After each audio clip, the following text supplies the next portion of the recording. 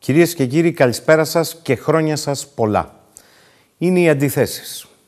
Δανείζομαι από τον Διέγκο Φουζάρο, συγγραφέα και Ιταλό καθηγητή της φιλοσοφίας της ιστορίας, τη φράση «Καλώς ήρθατε στον 21ο αιώνα, όπου το σεξ είναι δωρεάν και η αγάπη ακριβή, όπου η πίτσα φτάνει πιο γρήγορα από το ασθενοφόρο, όπου η απώλεια ενός κινητού τηλεφώνου είναι πιο οδυνηρή από την απώλεια της αξιοπρέπειας.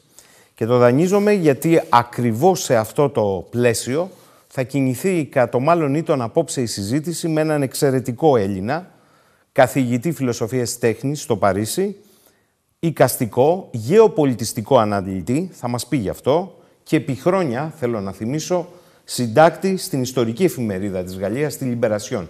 Κοντά μας απόψε ο κύριος Δημοσθένης Δαβέτας. Καλησπέρα κύριε Δαβέτα. Καλησπέρα κύριε Σαχίνη σε εσάς. Καλησπέρα στους ε, ε, τηλεθεατές μας. Ε, μου έχουν λείψει οι τηλεθεατές του Κρήτη TV, οπότε είμαι ιδιαίτερα χαρούμενος.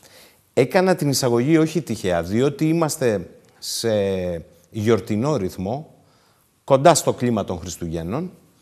Ε, κάποτε παίρναμε φωτογραφίες για να θυμόμαστε γεγονότα ή πρόσωπα.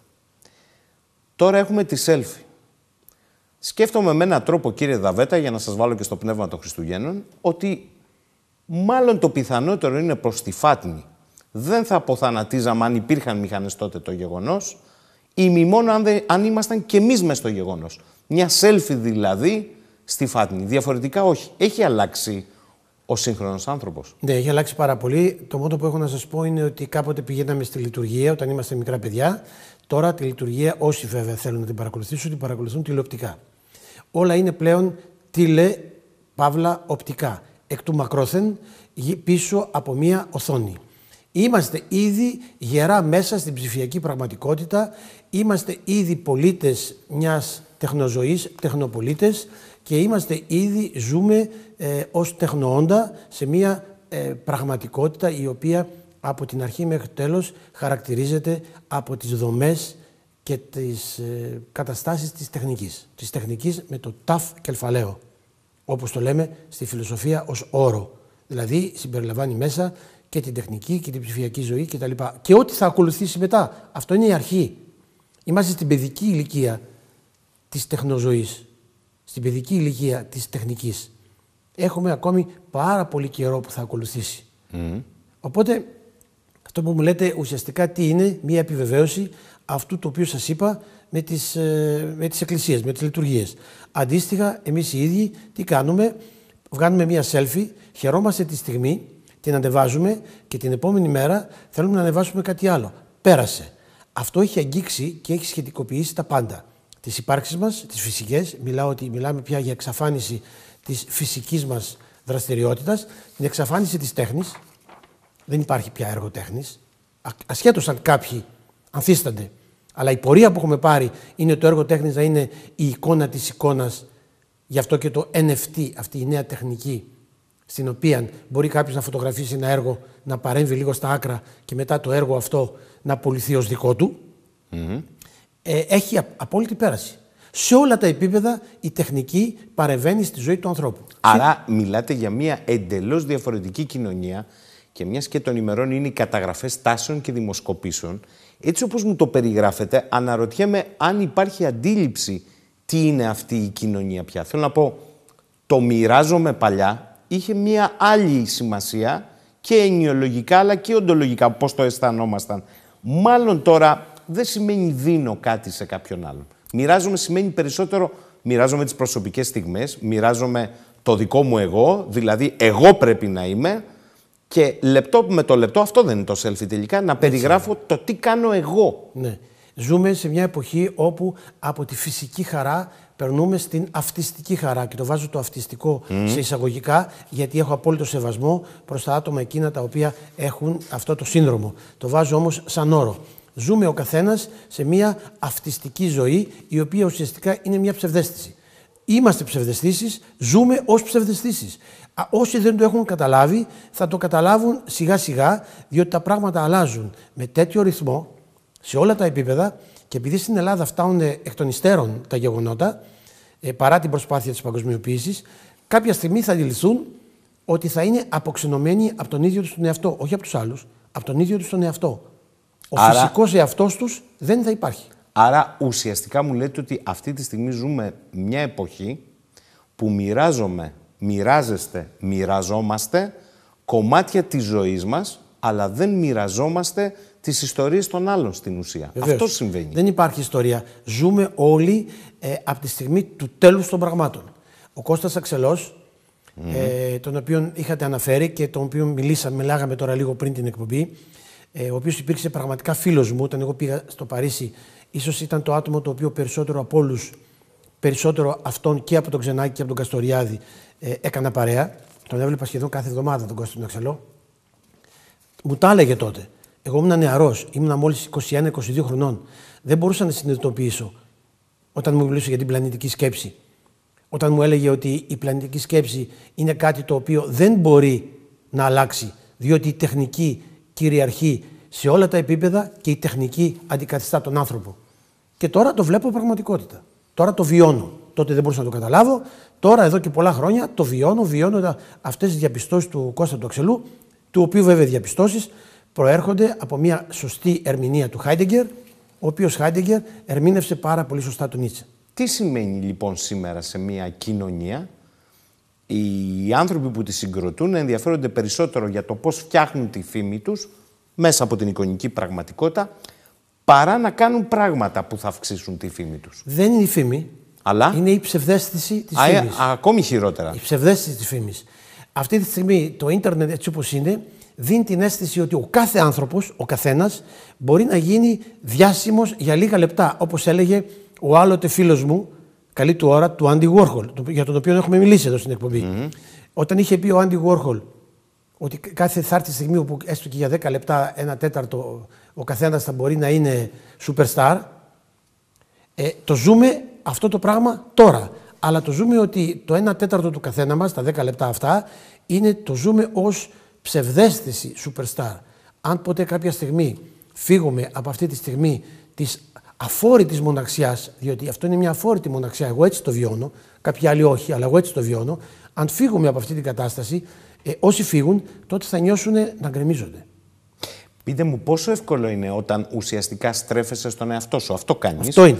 Απόλυτη επιστροφή. Α- άρα δεν είναι πιο δύσκολο. Όχι ως αυτογνωσία όμως. Όχι, προφανώς. Δεν είναι πιο δύσκολο έτσι να επικοινωνήσεις και με τους άλλους. Θέλω να πω, κύριε Δαβέτα, στρεφόμενος στον εαυτό σου, χωρίς επίγνωση, διαμορφώνεις μία αντίληψη που μετά, αν ο κύριος Δαβέτας ή ο Τάσος ο Βρέτζος που είναι στην κάμερα διαφωνεί μαζί σου, είναι πολύ δύσκολο να συζητήσεις καν μαζί του. Μα Κάνω δεν λάθος. συζητάς. Τον διαγράφεις. Δεν συζητάς. Delete. Έχετε ναι, δίκιο. τον διαγράφεις. Οτιδήποτε σε ενοχλεί. Τώρα έχουμε μάθει από αυτούς τους ε, απαταιώνες της ευτυχίας, έτσι τους ονομάζω εγώ. Αυτοί όλοι οι- οι απαταιώνες της ευτυχίας, οι οποίοι έχουν πάρει διάφορα τσιτάτα, λίγο από τη φιλοσοφία, λίγο από εδώ, λίγο από εκεί, και βγαίνουν στον κόσμο και λένε: ε, την, ευ- ε, σας, ε, θα, Ελάτε στα μαθήματά μου, σε, σε κάποιο Ινστιτούτο από εδώ και από εκεί, σε 10 μαθήματα θα σας διδάξουμε την ευτυχία.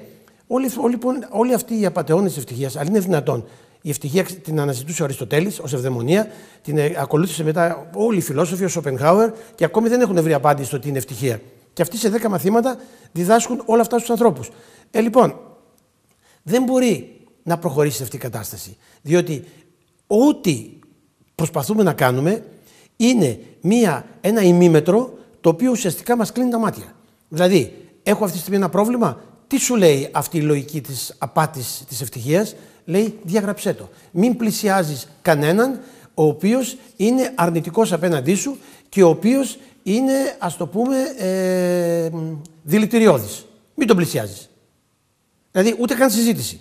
Σε ενοχλεί, χ, delete. Φύγαμε. Μπορεί όμως αυτός που σε ενοχλεί να είναι μια αλήθεια. Να σου λέει ανάμεσα στα 10 τα οποία εσύ δεν υποφέρεις, το ένα να είναι μια ωραία αλήθεια η οποία μπορεί να σε οδηγήσει σε μια μορφή αναμέτρησης με την εικόνα και με το εσωτερικό του εαυτού σου. Μιας και το είπα εισαγωγικά, άρα και επιμένω, με βλέπετε επιμένω, κατά τη γνώμη σας, τι σοϊ άνθρωπος είμαστε όταν σήμερα, και δεν το είπα τυχαία, αντί με μία φωτογραφία να αποτυπώσεις γεγονότα, τα οποία οι πρόσωπα στην ουσία αυτά δεν υφίστανται, αυτό είναι το selfie, η selfie, Αν δεν είσαι και εσύ μέσα σε αυτά. Αν δεν είσαι, δεν υφίστανται. Selfie, selfist. Selfie, selfist. Η ίδια γλώσσα μας οδηγεί. Το selfie μας οδηγεί στο selfist. Δηλαδή, κοιτάω μόνο τον εαυτό μου. Με μια διαφορά. Είπατε τι σώει άνθρωπος. Παίρνω τα λόγια σας. Ποιος σας είπε ότι μιλάμε για ανθρώπους; Και δεν θα χρησιμοποιήσω τη λογική του μετανθρώπου, το οποίο είναι λίγο στη μόδα και έχουμε μιλήσει μαζί. Ε, ο άνθρωπος πρέπει να έχει κάποια στοιχεία τα οποία τον χαρακτηρίζουν. Είναι η αμφιβολία, πρώτα και κύρια αμφιβολία. Από εκεί ξεκινάει ο άνθρωπος. Ο άνθρωπος υπάρχει από τη στιγμή που αμφιβάλλει. Μετά μπαίνουν όλα τα άλλα στοιχεία. Ο πόνος, ο φόβος, η χαρά, η λύπη, ο ενθουσιασμός, όλα αυτά. Αλλά το πρώτο στοιχείο είναι η αμφιβολία. Έχεις στην αμφιβολία ξεκίνησε και η φιλοσοφία. Mm. Από την αμφιβολία ξεκίνησαν τα πάντα. Διότι η αμφιβολία σου προκαλεί ερωτήματα. Όταν λοιπόν εσύ αρνείσαι οποιονδήποτε θα σε βάλει αντιμέτωπο με τα ερωτήματα και κλείνεσαι στον εαυτό σου, τότε δεν ζεις ως άνθρωπος. Ζεις ως ένα θηρίο το οποίο αρνείται να δει τον εαυτό του και κλεισμένο σε ένα κλουβί. Αυτό κλουβιάζεσαι. Συγγνώμη τώρα, αυτό δεν είναι έκφραση, δεν είναι ελληνικά, αλλά ίδια. Δηλαδή μπαίνεις μόνος σου σε ένα κλουβί. Ή σε έχουν βάλει πολύ επιτυχημένα σε ένα κλουβί. Και είναι όλα αυτά της στιγμής. Είναι στιγμιαία. Σας λέω, είναι όπως το έργο τέχνης. Αυτά όμως τα πράγματα, προσέξτε. Η αποφυγή το να έχουμε αντιπάλους. Η ζωή είναι μια μάχη δημιουργική των αντιθέτων. Τα έχει πει ο Ράκλητος. Το να είσαι κοντά στους αντιπάλους σου και να ακούς από αυτούς οι οποίοι πρεσβεύουν το αντίθετο είναι υγεία. Ακόμη και αν σε πονάει, ακόμη και αν αναγκάζεσαι να βάλεις τον πιο οξυμένο εαυτό σου. Μην ξεχνάτε τον Πλούταρχο. Έχει γράψει ένα πολύ ωραίο βιβλίο πώς να εκμεταλλευτείς την παρουσία του αντιπάλου σου. Και ένα από αυτά που λέει, ο Πλούταρχος εννοώ το φιλόσοφο, έτσι μην παραξηγηθώ, χωρίς να έχω καμία άρνηση προς, προς τα λαϊκά άσματα που έχει ο Πλούταρχος. Ουσιαστικά τι θέλει να πει, το πρώτο, το πρώτο από, από αυτά που λέει στο βιβλίο. Να μην είσαι ποτέ μακριά από τους αντίπαλου σου. Να είσαι δίπλα. Χάρη στον αντίπαλό σου, θα μάθεις τον εαυτό σου. Σήμερα γίνεται το αντίθετο. Είπε κάτι το οποίο με ενοχλεί, ε, δεν μπορώ να το υποφέρω. Εγώ δεν θέλω να έχω τοξικούς ανθρώπους. Η έκφραση που ακούω γύρω μου και γίνομαι έξαλλος. Δεν θέλω τοξικούς ανθρώπους. Χ, delete. Μα δεν ακούς καν τι σου λέει. Γιατί ουσιαστικά σου λέει κάτι που σε δυσαρεστεί. Η δυσαρέσκεια μπορεί να είναι ένα εργαλείο το οποίο σε κάνει να φτιάξεις τον εαυτό σου. Να καταλάβεις τον εαυτό σου. Εσύ, οτιδήποτε είναι δυσάρεστο, το διαγράφεις. Άρα ουσιαστικά τι μένεις, εσύ και το φάντασμά σου. Στο τέλος, το φάντασμά σου είναι πιο τέλειο από σένα. Έχετε θέσει στη δημόσια σφαίρα ε, μία ορολογία.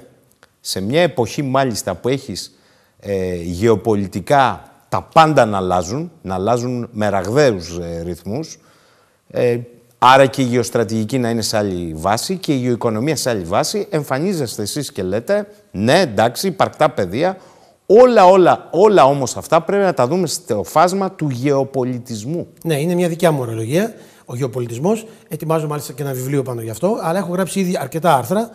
Ε, ο γεωπολιτισμός είναι η γεωπολιτική από την οποία δεν έχει, αποχωρηθεί, δεν έχει κοπεί ο πολιτισμός. Αν πάρουμε τη λέξη πόλης, πολιτική, πολίτης και πολιτισμός, είναι η ίδια ρίζα. Έχουμε φτάσει σήμερα, ειδικά στον 20ο αιώνα, ειδικά στον 20ο αιώνα, αλλά και κυρίως τώρα, από το δεύτερο παγκόσμιο πόλεμο και μετά, μετά την, ε, αυτό, αυτό που ονομάζουμε έμεση δημοκρατία, έχουμε φτάσει να δίνουμε το βάρος μόνο στην οικονομία, να θέλουμε να φτιάξουμε μια παγκοσμιοποίηση η οποία στηρίζεται σε οικονομικούς όρους και σε τεχνικούς όρους και να μην βάζουμε σε αυτό το στοιχείο του πολιτισμού. Ο πολιτισμός είναι στην καλύτερη των περιπτώσεων διακόσμηση. Θέλουν στα πλαίσια ας πούμε μιας διακόσμησης, μιας χαράς, ενός απογεύματος, ε, μιας ώρας ή δύο ώρων, η κυρία του Προέδρου, η κυρία του Υπουργού ε, και ο κύριος Υπουργός με το σκυλάκι τους θα πάνε να επισκεφθούν μια έκθεση ζωγραφικής, θα δούνε κάτι και ούτω καθεξής. Αυτό είναι κατάντια. Αυτό είναι η χειρότερη, ας το πούμε, διακόσμηση που μπορεί να υπάρξει για την ουσία του πολιτισμού, όπως την έθεσε ο Αριστοτέλης. Όπου έλεγε ότι η πολιτική είναι η ψήστη των τεχνών την θεωρούσε την πολιτική ως τέχνη. Άρα εξορισμού. Πολιτική και πολιτισμός και τιμολογικά και ενοιολογικά είναι ένα πράγμα. Εμείς τον πολιτισμό το θεωρούμε ότι είναι μία, ας το πούμε, πολυτέλεια για τους λίγους, ενώ ο πολιτισμός δεν είναι μόνο το θέατρο, δεν είναι μόνο η τέχνη, δεν είναι μόνο το βιβλίο, όλα αυτά συμβάλλουν σε μια συμπεριφορά. Ο πολιτισμός είναι μια συμπεριφορά. Μια συμπεριφορά η οποία θα λάβει υπόψη της και την οικονομία και τις στρατηγικές γύρω μας και την παγκόσμια πολιτική. Όταν υπάρχει πολιτισμός, τότε η δύναμη δεν γίνεται εξουσία, αλλά μένει στο ρήμα δύναμε. Όταν χρησιμοποιούν τη λέξη δύναμης σήμερα, το δύναμη το χρησιμοποιούν ως power, δηλαδή εξουσία. Ενώ στην ελληνική σκέψη η δύναμη ήταν δύναμε. Δηλαδή μπορώ να κάνω κάτι. Και το μπορώ να κάνω κάτι προϋποθέτει και καλλιέργεια του προσώπου και αλληλεγγύη μεταξύ των προσώπων, συνύπαρξη μεταξύ των προσώπων. Άρα και στην οικονομία μπορούμε να λειτουργήσουμε με το ίδιο πνεύμα.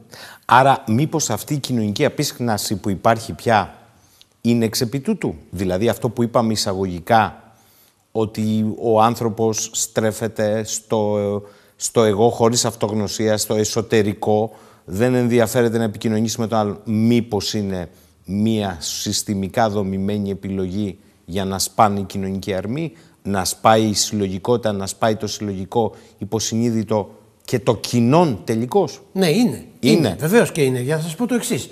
Ε, για να μιλάμε με συγκεκριμένα στοιχεία. Γιατί αφαιρούν από τις σπουδές όλων των ευρωπαϊκών κρατών όπου υπάρχουν αντιδράσεις εναλλακτικές από το ένα κράτος ή το άλλο, αφαιρούν τις κλασικές σπουδές, αφαιρούν τις ανθρωπιστικές σπουδές, οι οποίες φτιάχνουν καλύτερα τους ανθρώπους. Δηλαδή, με ποια λογική τους φτιάχνουν καλύτερα τους ανθρώπους, τους βάζουν να σκέφτονται. Γιατί τα αφαιρούν όλα αυτά από τα σχολεία; Γιατί τα νέα παιδιά είναι μόνο με, με, αυτά τα τεχνολογικά εργαλεία και το μόνο που μαθαίνουν είναι να φτιάχνουν μικρές αγέλες. Το λέω επίτηδες τη λέξη αγέλη. Μικρές αγέλες οι οποίες συγκρούονται. Κοιτάμε στις ειδήσει και βλέπουμε έξι άτομα, οχτώ άτομα επιτέθηκαν σε ένα, γόρι, σε ένα κορίτσι σε μικρές ηλικίες. Όλα αυτά τα παιδιά που δεν έχουν την ανάλογη παιδεία, πώς θα μπορέσουν να δώσουν διέξοδο σε αυτή την εκφύσεως βία που έχει ο άνθρωπος; Τι γίνεται λοιπόν, αυτό μετατρέπεται σε μια αγέλη. Άρα η έννοια του πολιτισμού υποβιβάζεται σε κοινότητα, η δε κοινότητα υποβιβάζεται σε παρέα, η οποία παρέα γίνεται αγέλη στο τέλος. Έχουμε διαρκή έκπτωση όλων αυτών των πραγμάτων. Εάν λοιπόν ζούμε με αυτή την κατάσταση, τότε πώς μπορεί να ζήσουμε διαφορετικά; Ε, θα έπρεπε όπου υπάρχει η οικονομία, η ελεύθερη οικονομία, εφόσον τη θέλουμε την ελεύθερη οικονομία, να υπάρχει αντίστοιχα και επίπεδο, αντίστοιχα επίπεδο σπουδών. Οι σπουδές δεν πρέπει να είναι για τους λίγους. Τι θα πει για τους λίγους στην ελίτ, Δηλαδή, όποιος έχει χρήματα πάει και κάνει ένα μεταπτυχιακό. Εδώ έχουμε φτάσει. Εγώ, σαν καθηγητή, σας το λέω. Έρχεται ο άλλος, έχει χρήματα και γράφει στο μεταπτυχιακό. Τα πανεπιστήμια, και ειδικά στη Γαλλία, που το βλέπω, που ακόμη η Γαλλία διατηρεί ένα κοινωνικό πρόσωπο, αλλά και σε άλλες χώρες που βλέπω, πάνε και πληρώνουν οι περισσότεροι για να μπουν στο μεταπτυχιακό. Γιατί αυτό να μην είναι ανοιχτό στον κόσμο; Γιατί να είναι μόνο σε μια ελίτ; Αυτό δεν είναι δημοκρατία. Και με βάση όλα αυτά τα στοιχεία που λέμε, η δημοκρατία είναι σε ύφεση πλέον. Αυτό το οποίο βάλετε είναι η ίδια η δημοκρατία. Οι ίδιες οι βάσεις της δημοκρατίας. Δεν μιλάμε για δημοκρατία. Στη δημοκρατία στηρίζεται η μεσαία τάξη, η οποία μεσαία τάξη δημιουργεί μια αναλογική πορεία των σπουδών. Αναλογική πορεία στην οικονομία, στον πολιτισμό, σε όλα. Βάλετε η μεσαία τάξη, συρρυκνώνεται η μεσαία τάξη, άρα συρρυκνώνεται η δημοκρατία και τι έχουμε, ολιγαρχία. Κυριολεκτικά ολιγαρχία. Οι ολίγοι οι οποίοι άρχουν και οι πολλοί οι οποίοι είναι βάναυσα αρχόμενοι. Σε επίπεδο παγκόσμιο αυτό. Ένας άλλος συνομιλητής μας, ο κ. Κοντοχύρη, είχε πει ότι είμαστε στον καιρό της εκλεγμένης μοναρχίας στην ουσία. Αυτό διάγει ο δυτικός πολιτισμός. Σωστό, αυτό που λέει, σωστό αυτό που λέει. Ναι, το συμμερίζουμε ο κ. Δηλαδή λέει ότι δεν είναι καν αντιπροσωπευτικό πια το σύστημα. Το συμμερίζουμε αυτό Από τη στιγμή που, δεν έχει έλεγχο, ανακλητότητα και το συμμερίζεται. Ναι, το συμμερίζουμε αυτό που λέει ο εκλεκτός συνάδελφος, αλλά θα πρόσθετα και κάτι άλλο. Θα βάζα ένα δικό μου όρο, δίπλα στον πολύ σωστό όρο του κ. Κοντογιώργη. Ζούμε την εποχή της δημοκρατορίας. Τι σημαίνει αυτό; Δημοκρατορία είναι δημοκρατία και δικτατορία. Ο Αρτογκάν, παράδειγμα, ο Πούτιν, αλλά και όλοι οι άλλοι είναι δημοκράτορες. Δηλαδή, έχουν μία μονοκρατορία, ουσιαστικά στην πράξη δικτατορία, διότι επιβάλλουν τα πάντα, αλλά είναι εκλεγμένοι τυπικά Μέσα από τον κόσμο. Με συγχωρείτε τότε. Εγώ θα σας κάνω κόντρα ρόλο. Να μου κάνετε κόντρα ρόλο. Ωραία. Τα ευρωπαϊκά όργανα ποιος τα έχει εκλέξει; Πλην του Ευρωκοινοβουλίου, το οποίο είναι μέσα στα σκάνδαλα και τη διαφθορά αυτή τη στιγμή. Ποιος τα έχει Θα μου εκλέξει; πείτε ο κόσμος. Τα, όχι, εννοώ κομισιόν και τα είπα. Τα εκλέγει ο κόσμος απευθείας. Αυτό δεν είναι μια άλλη μορφή δημοκρατορίας. Πιο light στα εξωτερικά χαρακτηριστικά επίβολης. Δεν θα έλεγα δημοκρατορίας. Αλλά; Θα έλεγα μια γραφειοκρατικής δικτατορίας. Για να είμαστε Α. ακριβείς. Γιατί εκεί πέρα ο κόσμος δεν συμμετέχει. Ο κόσμος βλέπει ξαφνικά έναν χαρτογιακά, συγγνώμη για την έκφραση, χαρτογιακά γραφειοκράτη, ο οποίος έρχεται και βγάζει αποφάσεις για όλους τους λαούς της Ευρωπαϊκής Ένωσης. Ποιος είσαι εσύ, ρε φίλε; Σε έχει εκλέξει ο κόσμος; Δεν κατάλαβα. Το άλλο που σας είπα εγώ έχει να κάνει με τους ηγέτες. Όταν οι ηγέτες εκλέγονται από τον κόσμο, αλλά έχουν φτιάξει ένα τέτοιο μηχανισμό ώστε να μην, μην υπάρχει περίπτωση να μην εκλεγούν, τότε αυτό το ονομάζω εγώ δημοκρατορία, δηλαδή δημοκρατική δικτατορία. Τι έχετε να πείτε λοιπόν σήμερα με όρους σύγχρονης γεωπολιτικής και σύγχρονου πολιτισμού; Ε, έχω να πω, εννοείται για την κατάσταση που ζούμε σήμερα, ότι ο πολιτισμός, αυτά τα οποία γίνονται στη γεωπολιτική, γίνονται στον πολιτισμό. Πριν δούμε αυτά που γίνονται στη γεωπολιτική. Προσοχή, έχει, επιμένω σε αυτά. Είναι αυτό που έλεγε ο Όσκαρ Βάιλντ. Δεν είναι η τέχνη που μιμείται τη ζωή. Είναι η ζωή που μιμείται την τέχνη. Και εγώ θα πω, είναι η πολιτική που μιμείται τον πολιτισμό. Και ας μην είναι στη μόδα ο πολιτισμός. Γιατί ό,τι έχει να κάνει, παράδειγμα, ας πάρουμε τις αγορές. Λέμε σήμερα, οι αγορές καθορίζουν τα πάντα. Από την αρχή του 20ου αιώνα, οι αγορές έχουν μπει και καθορίζουν το έργο τέχνης. Αυτές καθορίζουν τις τιμές των έργων καθορίζουν ποιος καλλιτέχνης θα πάει από εδώ, ποιος από εκεί, σχέσεις εξουσίας κτλ. Μετά από κάποια χρόνια φτάνουμε, μετά το δεύτερο παγκόσμιο πόλεμο κτλ. Οι αγορές επεμβαίνουν στην οικονομία. Επεμβαίνουν στην πολιτική. Έχουμε λοιπόν πλήρη αντικατάσταση όλων αυτών, διότι οι αγορές σε όλα τα επίπεδα ελέγχουν την κοινωνία. Αυτό έχει αναγγελθεί ήδη μέσα από τη λειτουργία των αγορών στον πολιτισμό από τις αρχές του 20ου αιώνα. Η έννοια της αγοράς δεν υπήρχε στο 19ο αιώνας. Όλοι αυτοί ήταν γύρω από τον Βασιλιά, γύρω από τους μονάρχες κτλ. Από τη στιγμή που μπαίνουμε στη βιομηχανική επανάσταση, έχουμε τη δημιουργία των αγορών στον πολιτισμό. Το οποίο φαίνεται light. Δηλαδή, όταν ε, η Ευγενία και ο Ναπολέοντας ο Τρίτος αποφασίζουν να φτιάξουν τα νέα επαγγέλματα στη Γαλλία και να δώσουν μια νέα διάσταση στην τέχνη λόγω της βιομηχανικής επανάστασης, τότε τι έχουμε ξαφνικά; Είμαστε χαρούμενοι που μπορούμε να φτιάξουμε αγορές για τους καλλιτέχνες. Διότι θα υπάρχουν μια, μια σειρά από άνθρωποι οι οποίοι θα αγοράζουν τα έργα τέχνης. Αυτό φάνταζε στην αρχή κάτι το πολύ όμορφο. Όπως φάνταζε και στην Ευρωπαϊκή Ένωση, πολύ ωραίο να βρεθούμε όλοι μαζί και να έχουμε κοινή αγορά. Στην πορεία τι έγινε, 10 ή 15 άτομα είναι αυτά που ελέγχουν την παγκόσμια αγορά τέχνης. Πολύ πριν φτάσουμε σε αυτό που γίνεται σήμερα, όπου κάποιοι ολιγάρχες ελέγχουν απόλυτα την πολιτική, την οικονομία, το περιβάλλον και οτιδήποτε έχει σχέση με την κοινωνική ζωή και την καθημερινή ζωή του ανθρώπου. Άρα, ναι, γιατί λέτε ότι αντιγράφει. Άρα, τι έχει να μας πει η τέχνη σήμερα, αν έχει να μας πει για αυτό που λέμε ότι είναι τα πρώτα του βήματα, ο νέος τύπος οργάνωσης που πολλές φορές μοιάζει να είναι και φαντασιακό, η τεχνοζωή. Ναι, η οποία Τι είναι έχει- τι έχει να μας πει; ψευδέστηση της ψευδέστησης. Μάλιστα. Η τέχνη τι, ε, ε, έχει στείλει Έχουμε δύο το- τάσεις στην Ναι. τέχνη, οι οποίες είναι κατά περίεργο τρόπο, όχι, μάλλον, μάλλον πε- όχι περίεργο, κατά ανάλογο τρόπο με αυτή την, την λογική που ανέπτυξα, υπάρχουν και στην πολιτική. Προ- Προσέξτε, η μία τάση στην τέχνη είναι αυτή που οδηγεί στη λεγόμενη απονοηματοδότηση. Δηλαδή ένα έργο τέχνης το οποίο δεν θα έχει νόημα. Θα είναι μόνο μία εμπειρία ή μία στρατηγική φορμαλιστική. Για να το πω πιο απλά για να καταλαβαίνει ο κόσμος, έχουμε ένα έργο τέχνης, Αυτό που μας νοιάζει δεν είναι το νόημά του, αλλά πώς θα στρώσουμε τη μορφή, πώς θα κάνουμε λίγο το χρώμα, λίγο αν θα το βάλουμε λίγο δεξιά, λίγο αριστερά κτλ. Και έχουμε μια άλλη τάση, η οποία ακόμη ανθίσταται, λέω ακόμη γιατί δεν ξέρω για πόσο καιρό, η οποία είναι η τάση της ανανοηματοδότησης. Δηλαδή ότι έχουμε ανάγκη να ξαναβρούμε πάλι το νόημα στην τέχνη. Τι σημαίνει να βρω το νόημα στην τέχνη; Η τέχνη να είναι μια προσωπική εμπειρία του καλλιτέχνη η οποία να αγγίζει τα υπαρξιακά όρια. Μόνο τότε έχουμε νέα νοήματα. Αλλιώς όλα τα άλλα είναι διαχείριση ήδη υπαρχόντων ενιών, όχι νοημάτων. Άλλο η έννοια, άλλο το νόημα. Δύο διαφορετικά πράγματα. Η έννοια είναι κάτι το εγκεφαλικό, άρα δουλεύω με το κεφάλι μου, ενώ το νόημα είναι η ουσία του νου, δηλαδή κάτι το οποίο, μας έλεγε ο Παρμενίδης, μπορεί και, και παντρεύει και το σώμα και το πνεύμα. Δηλαδή και ο ουρανός και η γη είναι ένα πράγμα. Ο άνθρωπος είναι και ουρανός και γη. Αυτό το πράγμα. Η παραγωγή του ανθρώπου αυτού γίνεται νόημα. Προέρχεται από το νου. Από τη λέξη νους του Παρμενίδη. Τώρα, ξαναλέω για να μην χάσουμε το νόημα, να είναι ξεκάθαρα. Όταν λοιπόν στην τέχνη έχουμε δύο τάσεις. Η μία είναι η τάση η οποία θέλει την, ξαναλέω, απονοηματοδότηση. Και η άλλη τάση η οποία θέλει την επανανοηματοδότηση.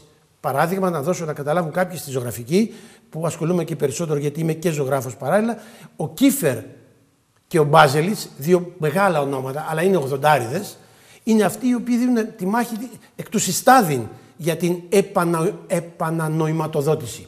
Από την άλλη πλευρά έχουμε τον Τζεφ Κούντς, ο οποίος φτιάχνει, παίρνει κάτι ε, ready-made, κάτι πραγματάκια έτσι, απλά παιχνιδάκια, τα φουσκώνει σαν μια φούσκα, κάνει διάφορα τεχνικά παιχνίδια, τεχνικά, στην τεχνική πραγματικότητα και πουλάει ως φούσκα ε, χρηματιστηρίου απονοηματοδοτημένα έργα σε τεράστια αξία. Δηλαδή σε, ε, ας το πούμε, ψεύτ, ψεύτικες αξίες, αλλά οι οποίες του δίνουν μια εικόνα. Μια ψεύτικη εικόνα, αλλά υπάρχει μια εικόνα. Το αντίστοιχο με στην πολιτική. Έχουμε δύο τάσεις πολιτικές που κυριαρχούν. Και στην Ευρώπη, αλλά γενικότερα στο δυτικό κόσμο. Και η μία τάση είναι αυτή η οποία είναι ταυτισμένη με την ζωή της τεχνικής και την παγκοσμιοποίηση και η οποία έχει ως κάποτε είχαμε την avant-garde. Η avant-garde στην μοντέρνα εποχή ήταν κάτι το οποίο έμπαινε μπροστάρι, στο λέει η ίδια λέξη, avant-garde, η πρώτη γραμμή. Τώρα, η Καλά τα πάτε στα γαλλικά, γιατί κάποιοι άλλοι ατυχούν στα γαλλικά, ξέρω. λοιπόν. ε, έμαθα, έμαθα, έμαθα διαφορετικά γαλλικά ακούγοντας αυτά τα γαλλικά. Μέσω Βρυξελών και, και Κοροπίου, ναι. ναι. Λοιπόν. Άρα λοιπόν, όπως είχαμε στη μοντέρνα εποχή την avant-garde, τώρα στην παγκοσμιοποίηση, ο μπροστάρης, η ταλιμπάν της παγκοσμιοποίησης, είναι το πολιτικά ορθόν. Το πολιτικά ορθόν είναι ταλιμπανισμός. Και η παγκοσμιοποίηση είναι μια νέα μορφή θεολογίας. Υπάρχει κάτι το απόλυτο. Και όταν υπάρχει το απόλυτο, οδηγούμαστε σε μια θεολογική αντίδραση. Είτε άμεσα, είτε έμεσα. Έχουμε λοιπόν από τη μία την τάση αυτή και από την άλλη την άλλη τάση, η οποία λέει όχι, έχουμε χάσει το νόημα της ζωής. Δεν υπάρχουν πια αξίες. Θέλουμε να ξαναβρούμε τις αξίες. Αυτή είναι η περίφημη ανανοηματοδότηση. Και η άλλη είναι η περίφημη που ζούμε από νοηματοδότηση. Τους λέει, τι σχέση έχουν τα νοήματα; Τι μας νοιάζουν τα νοήματα. Εδώ έχουμε τα εργαλεία, έχουμε τα κόλπα εδώ, τα τεχνικά. Αν μπαίνω σε ένα αεροπλάνο και σε δευτερόλεπτα πάμε εδώ και εκεί κτλ. κτλ. Το οποίο βέβαια μας θυμίζει το Μαρινέτη. Τον περίφημο αυτό Ιταλό φουτουριστή φιλόσοφο που είχε βλαστημίσει κάποτε, αλλά που είπε μια αλήθεια. Βλαστήμησε εμένα, αλλά είπε αλήθεια. Λέει ότι ένα σύγχρονο αυτοκίνητο, μια Ferrari ας πούμε, ε, είναι πιο σημαντική από την νίκη της Αμποθράκης. Αυτό ζούμε τώρα. Αυτή την εποχή ζούμε.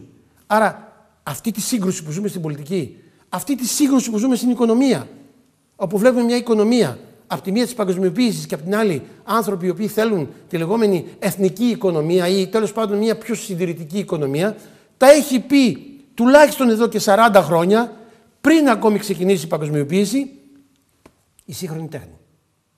Να γιατί εγώ επιμένω πάντα με όρους τέχνης. Και επιμένω να φωνάζω τον Όσκαρ Βάιλ, διαβοηθό μου, που έλεγε ότι δεν είναι η τέχνη, ξαναλέω να ακουστεί, που μιμείται τη ζωή, αλλά είναι η ζωή που μιμείται την τέχνη. Ωραία. Ο Μαρινέτη βεβαίως έγινε σημαία από ακραίες απόψεις, το ξέρετε. Κακοποιημένο. Ναι, μετά, μετά, μετά. Αλλά στην αρχή δεν ήταν έτσι. Όχι, προφανώς. Φουτουριστής. Προφανώς. Τους ενσωμάτωσε όμως το φασιστικό κίνημα του Μουσολίνη, όλους αυτούς. Πάντα τα συστήματα, είτε από τη μια μεριά είτε από την άλλη, δεν ενσωμάτωσε από την άλλη μεριά η Σοβιετική, δεν ενσωμάτωσε τον Μαγιακόφσκι. Βεβαίως. Και τον έκαναν και στα 23 του αυτοκτόνησε. Δεν μπορούσε να, δεν, δεν μπορούσε να αναπνεύσει. Η, ε, ο Μάλεβιτς και όλοι αυτοί οι τεράστιοι Ρώσοι καλλιτέχνες. Οι... Άρα επανέρχεστε. Το σύστημα ενσωματώνει τους πάντες στο τέλος. Ναι, αλλά αντιδρούν όμως. Οι γνήσιοι καλλιτέχνες, αυτοί που αναζητούν το νόημα, αντιδρούν. Εκεί είναι τη μεγάλη δύναμη της τέχνης. Για πείτε μου κάτι. Ε, το γεγονός, μιας και μιλάτε για την τέχνη, αλλά έχει εξαιρετικό ενδιαφέρον τώρα εδώ. Το γεγονός ότι και ο ρόλος του τύπου έχει υποχωρήσει. Εσείς προέρχεστε από μια εμβληματική άλλες εποχές εφημερίδα, τη Λιμπερασιόν. Ε, σήμερα είναι μία από τις καλές γαλλικές εφημερίδες, αλλά δεν παράγει αυτό που παρήγαγε, μην μου πείτε όχι. Ο τύπος σήμερα είναι σε γενικές γραμμές υπό έλεγχο. Υπό τον έλεγχο των μεγάλων οικονομικών ολιγαρχών. Ε, υπάρχει μία, αν θέλετε, δεν λέω ότι υπάρχει συμφωνία έτσι στα χαρτιά έτσι mm. κτλ, αλλά υπάρχει μια όσμωση μεταξύ των αφεντικών του τύπου και των ολιγαρχών. Τώρα, τι εννοώ με αυτό, μην παρεξηγηθώ κιόλας. Ότι εφόσον ελέγχουν αυτοί το χρήμα και εφόσον το χρήμα είναι αναγκαίο για να λειτουργήσουν κάποια πράγματα, παρεμβαίνουν. Παράδειγμα η Λιμπερασιόν. Αυτό που λέω το επιβεβαιώνω με αυτό που είπατε.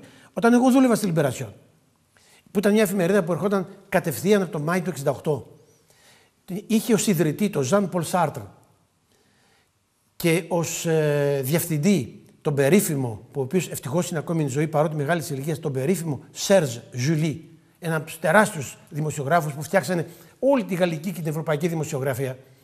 Και πήγαινε ο Ζαν Πολ Σάρτρ ο φιλόσοφος με τον Σερζ Ζουλί και με κάποιους άλλους και μοίραζαν την εφημερίδα από πόρτα σε πόρτα, αυτό είναι πολιτική φιλοσοφία. Όχι μόνο να κάνεις θεωρίες, αλλά και στην πράξη. Ανεξαρτήτως αν εγώ δεν συμμερίζομαι πολλές από τις πολιτικές απόψεις του Ζαν Πολσάρδο. Άλλο θέμα αυτό. Μιλάω σαν πράξη. Η Λιμπερασιόν λοιπόν αυτή, στην οποία εγώ δούλεψα 10 χρόνια και η οποία ήταν το όνειρο πολλών Γάλλων και πολλών Ευρωπαίων, η πληροφορία τότε είχε σχεδόν φτάσει τα 500.000 αντίτυπα ημερησίως. Ασύλληπτη εφημερίδα τότε. Εγώ τότε έγραφα ένα άρθρο τη εβδομάδα. Ήμουν ο υπεύθυνος όλων των πολιτιστικών. Βέβαια τα συνέδεα με την πολιτική από τότε. Τώρα απλά έχει πάρει μια άλλη πορεία πιο συγκεκριμένη. Αυτή η εφημερίδα λοιπόν δεν άντεξε οικονομικά. Και τι έγινε, ποιος την αγόρασε, ο Έντουαρντ Ρότσιλντ. Αυτή τη στιγμή το αφεντικό της Λιμπερασιόν είναι ο Έντουαρντ Ρότσιλντ. Και η Λιμπερασιόν, βέβαια, πολύ σωστή στα πλαίσια του αφεντικού της, τι κάνει, υποστηρίζει το πολιτικά ορθόν. Είναι η πιο φανατική εφημερίδα του πολιτικά ορθών. Η Φιγκαρό, η οποία είναι μια ίσως η πιο σοβαρή εφημερίδα που έχουμε ως προς την εγκυρότητα της ενημέρωσης και η οποία έχει από πίσω της τους Ντασό, δεν είναι τόσο πολύ μέσα στο σύστημα του πολιτικά ορθών όσο η Λιμπερασιόν. Άρα βλέπετε ότι και ο τύπος, καθότι το χρήμα διοικεί, αλλάζει χέρια.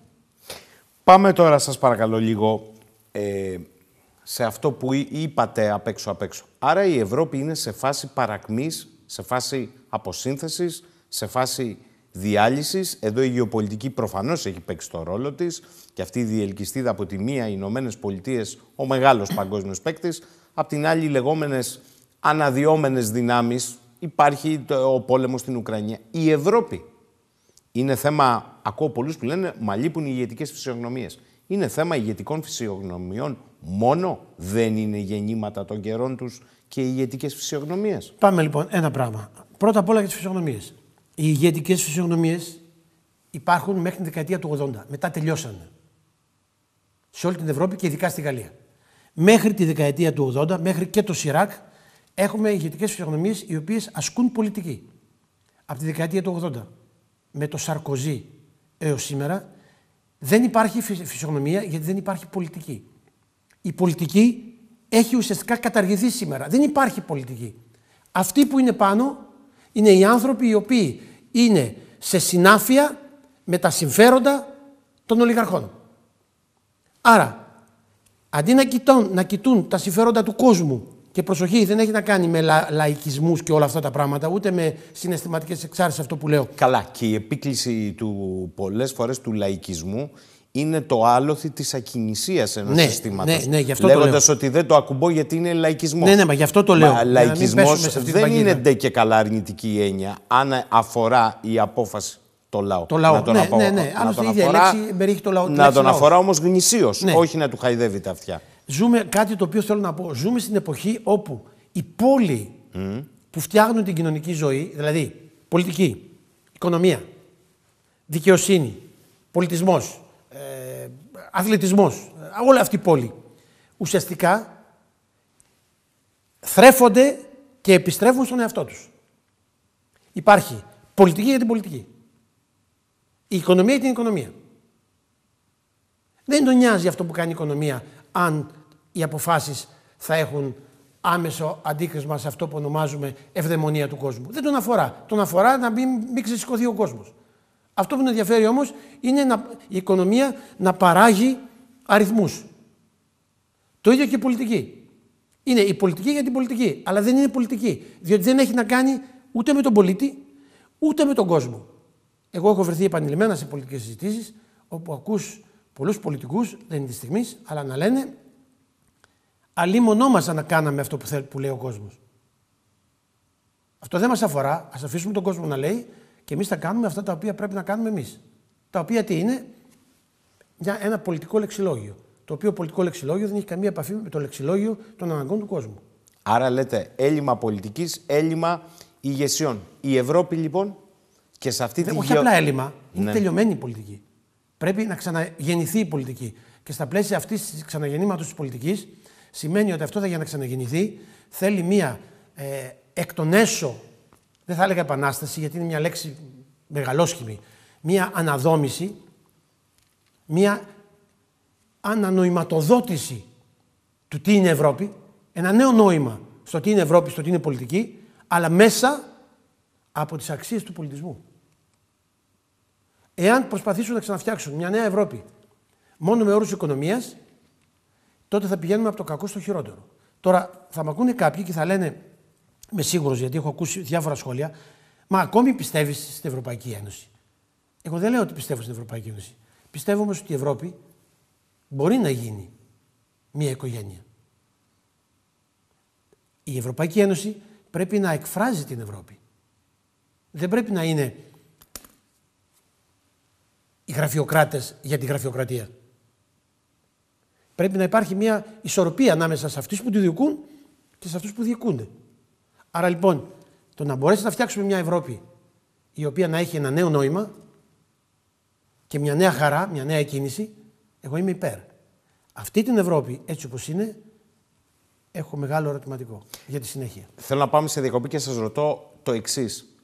Μπορούν να συμβούν όλα αυτά όταν εισαγωγικά απόψε λέμε ότι διάγουμε τα πρώτα βήματα της τεχνοζωής, άρα της απόσπασης από τις κοινωνίες των δραστηριοτήτων και όχι μόνο, ακόμη και της χαράς που είπατε που θα είναι επίπλαστη και εικονική. Μπορούμε να μιλάμε λοιπόν για νοηματοδότηση όπως είπατε εσείς. Εδώ φαίνεται ότι υπάρχει ένα μεγάλο κενό, μια μεγάλη σχάση. Η τεχνοεπιστήμη, χωρίς να είμαστε τεχνοφοβικοί, που οδηγεί σε τεχνοζωή, η οποία είναι αποσπασμένη παρά μόνος χρήστης ή πολλοί, οι κατέχοντες, οι έχοντες και κατέχοντες αυτοί έχουν τα πλεονεκτήματα και τελειώσαμε. Πώς θα το ανανοηματοδοτήσετε, Θα σπάσετε την τεχνολογία, θα καταστρέψετε τις μηχανές; Αυτό είναι λουδιτισμός, θα σας ναι. πει κάποιος. Ναι, πολύ σωστό. Μα εγώ είπα όμως και κάτι άλλο. Ναι. Ότι υπάρχει άλλη τάση. Υπάρχει άλλη τάση η οποία αντιδρά. Αυτή η οποία θέλει μια τεχνολογία στα πλαίσια μιας νέας νοηματοδότησης της ζωής η τεχνολογία μπορεί να βοηθήσει στη λειτουργία ενός νέου νοήματος. Διότι ζούμε μια εποχή όπου οι εφευρέσεις και η καινοτομία είναι σημαντικό, παίζουν σημαντικό ρόλο στη ζωή των ανθρώπων. Τη χρειαζόμαστε την καινοτομία.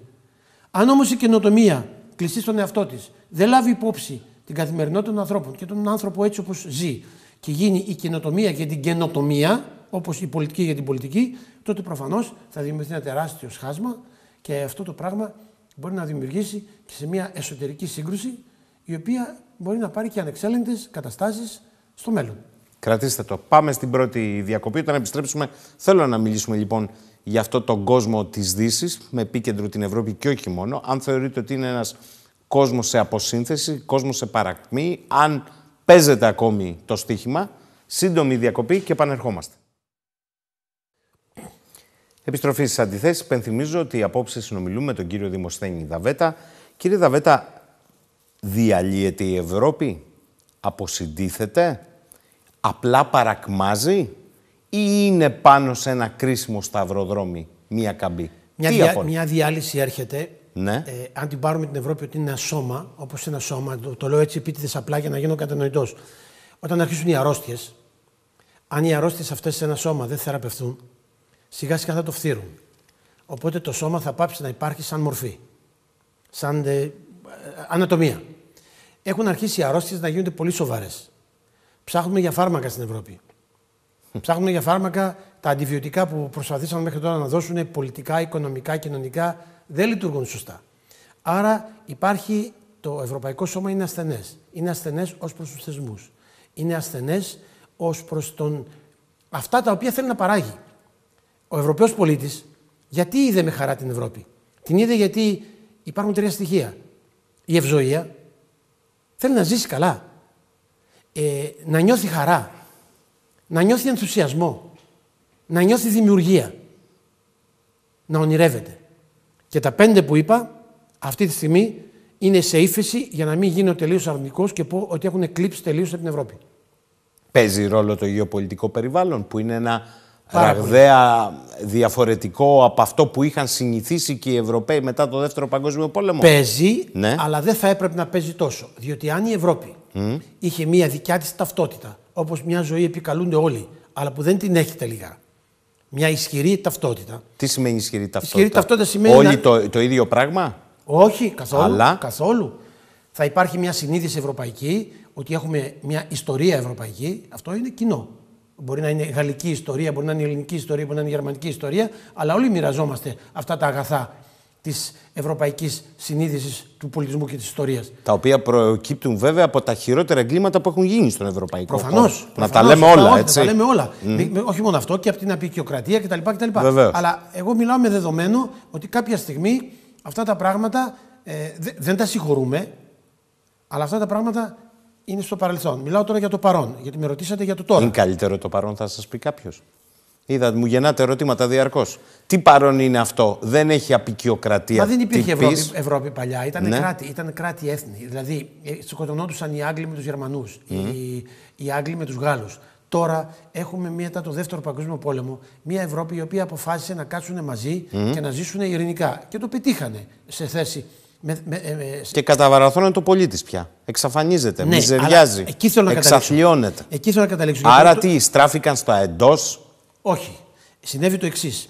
Επειδή έχασαν το παιχνίδι από τη δεκαετία του 80 και μετά και υπο, υποτάχθηκε η ευρωπαϊκή πολιτική ε, η- ε, στην λεγόμενη παγκοσμιοποιημένη πολιτική που ξεκίνησε μετά την πτώση της ε, Ρωσίας, τότε οι ηγέτες που επελέγησαν με αυτόν τον δημο, δημοδικ- δημοκρατορικό τρόπο που σας ανέφερα πριν, αυτοί οι ηγέτες αντί να ακολουθήσουν τον δρόμο που χάραξε ο Ντεγκόλ, ένα δρόμο δηλαδή της μέσης οδού, ο οποίος ουσιαστικά στην πολιτική, ο δρόμος που. Άρα Ευρώπη από τον Ατλαντικό στα οράλια μου λέτε. Αυτή ήταν η ναι, ρίση. μια διαφορά. Εγώ μιλάω τώρα ως προς τη σκέψη της Ευρώπης. Ε, βεβαίως. Η σκέψη της Ευρώπης είναι αριστοτελική. Ο Αριστοτέλης εισήγαγε την έννοια της μέσης οδού. Ο Ντεγκόλ λοιπόν δεν κάνει τίποτα παραπάνω παρά να εφαρμόζει αυτή τη μέση οδό στην Ευρώπη. Τι λέει, ο, ακούω και τη μια πλευρά, ακούω και την άλλη. Και αποφασίζω εγώ. Εγώ θα αποφασίσω τι είναι αυτό το οποίο ε, με με κάνει να ζήσω καλά. Εγώ Άρα σαν το Ευρωπαίος. χάσε λέτε αυτό η Ευρώπη. Χάθηκε αυτό. Από την εποχή του Σαρκοζή και μετά χάθηκε. Άρα η Ευρώπη είναι εξαρ... οι ηγέτες οι Ευρωπαίοι είναι εξαρτώμενοι από τους άλλους ηγέτες και μάλιστα από την αγγλοσαξονική κυριαρχία. Η οποία κυριαρχεί αυτή τη στιγμή. Όταν λοιπόν σε ένα πόλεμο όπως είναι στην Ουκρανία, όπως σε άλλα ζητήματα τα οποία είναι δεξιά και αριστερά, στη Μέση Ανατολή, στους σχέσεις με την Κίνα, Μονίμως ο χαμένος είναι η Ευρώπη, η οποία δεν τολμεί να βγει μπροστά. Δεν τολμάει να πάρει πρωτοβουλίες. Γιατί άμα πάρει πρωτοβουλίες, θα πειραχτούν οι Αμερικανοί ή θα πειραχτεί κάποιος Ρώσος ή θα πειραχτεί κάποιος άλλος. Άρα αυτόματα δεν υπάρχει ταυτότητα. Ταυτότητα λοιπόν ευρωπαϊκή σημαίνει να μπορώ να έχω το δικαίωμα να παίρνω πρωτοβουλίες και να αποφασίζω εγώ για αυτό το χώρο που λέγεται Ευρώπη, για το πώς θα ζήσουν οι πολίτες στην καθημερινότητά τους, για το πώς θα παράγουν τέχνη. Πάντα θα σας βάζω την τέχνη δίπλα στη, στη ζωή. Εγώ δεν μπορώ να φανταστώ να ζήσω, δηλαδή μόνο πάω να αγοράσω 10 τρόφιμα και μου φτάνει. Η τέχνη πρέπει να είναι δίπλα στα τρόφιμα. Είναι η καλύτερη τροφή η τέχνη. Άρα λοιπόν, όταν δεν υπάρχει αυτό, δεν υπάρχει ταυτότητα. Ταυτότητα, προσοχή, Θέλω να μην παρεξηγηθούμε. Έχουμε φτάσει σε σημείο σήμερα τη λέξη ταυτότητα να θεωρούμε ότι όποιος μιλάει για ταυτότητα είναι ακροδεξιός ή εθνικιστής. Αυτό είναι η μεγαλύτερη ε, ε, ε, προσπάθεια να ενοχοποιηθούν οι άνθρωποι που σκέφτονται.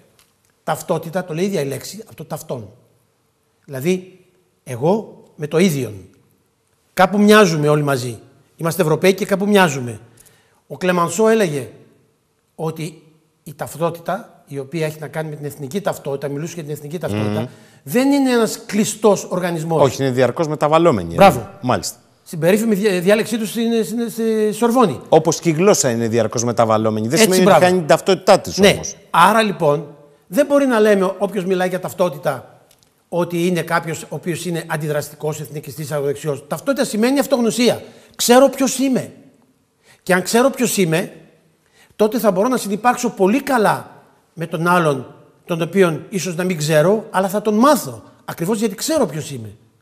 Αυτό το στοιχείο της ταυτότητας έχει αρχίσει να υποχωρεί στην Ευρώπη. Δεν μπόρεσε να φτάσει ποτέ το ύψος που έπρεπε να φτάσει.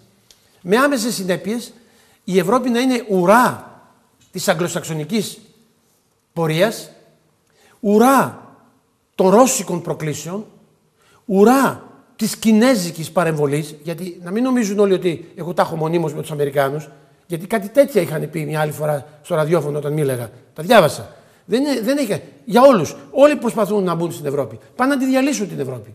Κινέζοι, Ρώσοι, Μέση Ανατολή. Βλέπετε τι γίνεται με το Qatar Gate. Να μπει το Μαρόκο, να μπει, να μπει το Κατάρ.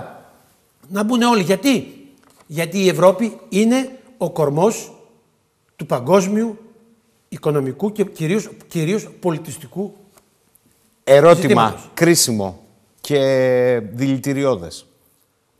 Μα στην ε, Ευρωπαϊκή Ήπειρο δεν είναι και η Ρωσία, θα σας πει κάποιος. Ένα μεγάλο της τμήμα. Δεν αποτελούσε μία από τις παραδοσιακές χερσαίες μεγάλες δυνάμεις της Ευρώπης. Γιατί την αποκόπτεται; Μήπως παίζετε το παιχνίδι του Biden, να σας προκαλέσω, ενώ ο Κίσιγκερ, η γριά λεπού, 99 ετών, ο οποίος έχει σοβαρές ευθύνες για το τι συνέβη στην Κύπρο με την εισβολή. Παρόλα αυτά είπε ότι παιδιά δεν μπορείς να εξαιρέσεις από τον ευρωπαϊκό χώρο τη Ρωσία. Με ό,τι μπορεί να συνεπάγεται αυτό. Λοιπόν, να Μην ξεκαθαρίσω. μου πείτε ότι είναι πουτινικός ο Κίσιγκερ. Όχι, όχι, όχι, καθόλου, καθόλου. Εγώ όταν μιλάω για την Ευρώπη, μιλάω για την Ευρωπαϊκή Ένωση. Αυτή την Ευρωπαϊκή Ένωση. Τώρα, αν θέλουμε να δούμε την Ευρώπη σε μια πιο ευρεία κλίμακα, όπως το λέτε, προφανώς και η Ρωσία είναι μέσα. Όμως, η Ρωσία έχει το εξής μειονέκτημα. Α μου επιτραπεί. Απ' τη μία θέλουν να είναι Ευρωπαίοι και απ' την άλλη είναι μόνο Ρώσοι. Αυτό είναι τεράστιο ε, μειονέκτημα. Εγώ δεν είμαι εναντίον της εθνικής ταυτότητας. Αλλά δεν μπορεί να είσαι μόνο Έλληνας, να πηγαίνεις να παίρνεις ό,τι σε συμφέρει από την Ευρώπη και να μην ξέρεις να μοιράζεσαι με τους άλλους και να είσαι, ας το πούμε, να έχεις και υποχρεώσεις απέναντι στην Ευρώπη. Όταν η Ρωσία ξεπεράσει το σύνδρομο της αυτοκρατορίας, γιατί το έχει πολύ έντονο, τότε θα γίνει πολύ πιο γόνιμη. Διότι είναι ευρωπαϊκή χώρα. Απλά έχει το σύνδρομο του τσάρου, του αυτοκράτορα. Υπάρχει αυτό το, το σύνδρομο από πίσω. Η Δύση θεωρείται ότι τη συμπεριφέρθηκε και δεν μιλάω για τον πόλεμο στην Ουκρανία που είναι εμφανώς ο εισβολέας. Ενώ όμως στις ιστορικές κρίσιμες περιόδους της δεκαετίας του 80 και του 90 τη συμπεριφέρθηκε ως ισότιμο συνομιλητή ή επιχείρησε να την κανιβαλίσει ακριβώς γιατί είχε καταρρεύσει ένα σύστημα; Πήγε να την κατηβαλίσει. Ξεκάθαρο αυτό. Πήγε να εκμεταλλευτεί την πτώση της Σοβιετικής Ένωσης και ιδιαίτερα την περίοδο του Γέλτσιν για να μπορέσει να την κάνει ουρά του ΝΑΤΟ και ουρά της Δύσης. Άρα μήπως χάθηκε εκεί το παιχνίδι για την Ευρώπη να βάλει τη δική της σφραγίδα. Ναι, εκεί η Ευρώπη θα έπρεπε να πάρει τη Ρωσία μαζί της. Άλλωστε, να, όπως μίλησα πριν, υπάρχουν δύο τάσεις. Να σας πω ότι στη Γαλλία υπάρχουν δύο τάσεις εδώ και τουλάχιστον 30 χρόνια που είμαι εγώ. Η μία τάση είναι η λεγόμενη εχθρική προς τη Ρωσία και η άλλη είναι η φιλική προς τη Ρωσία.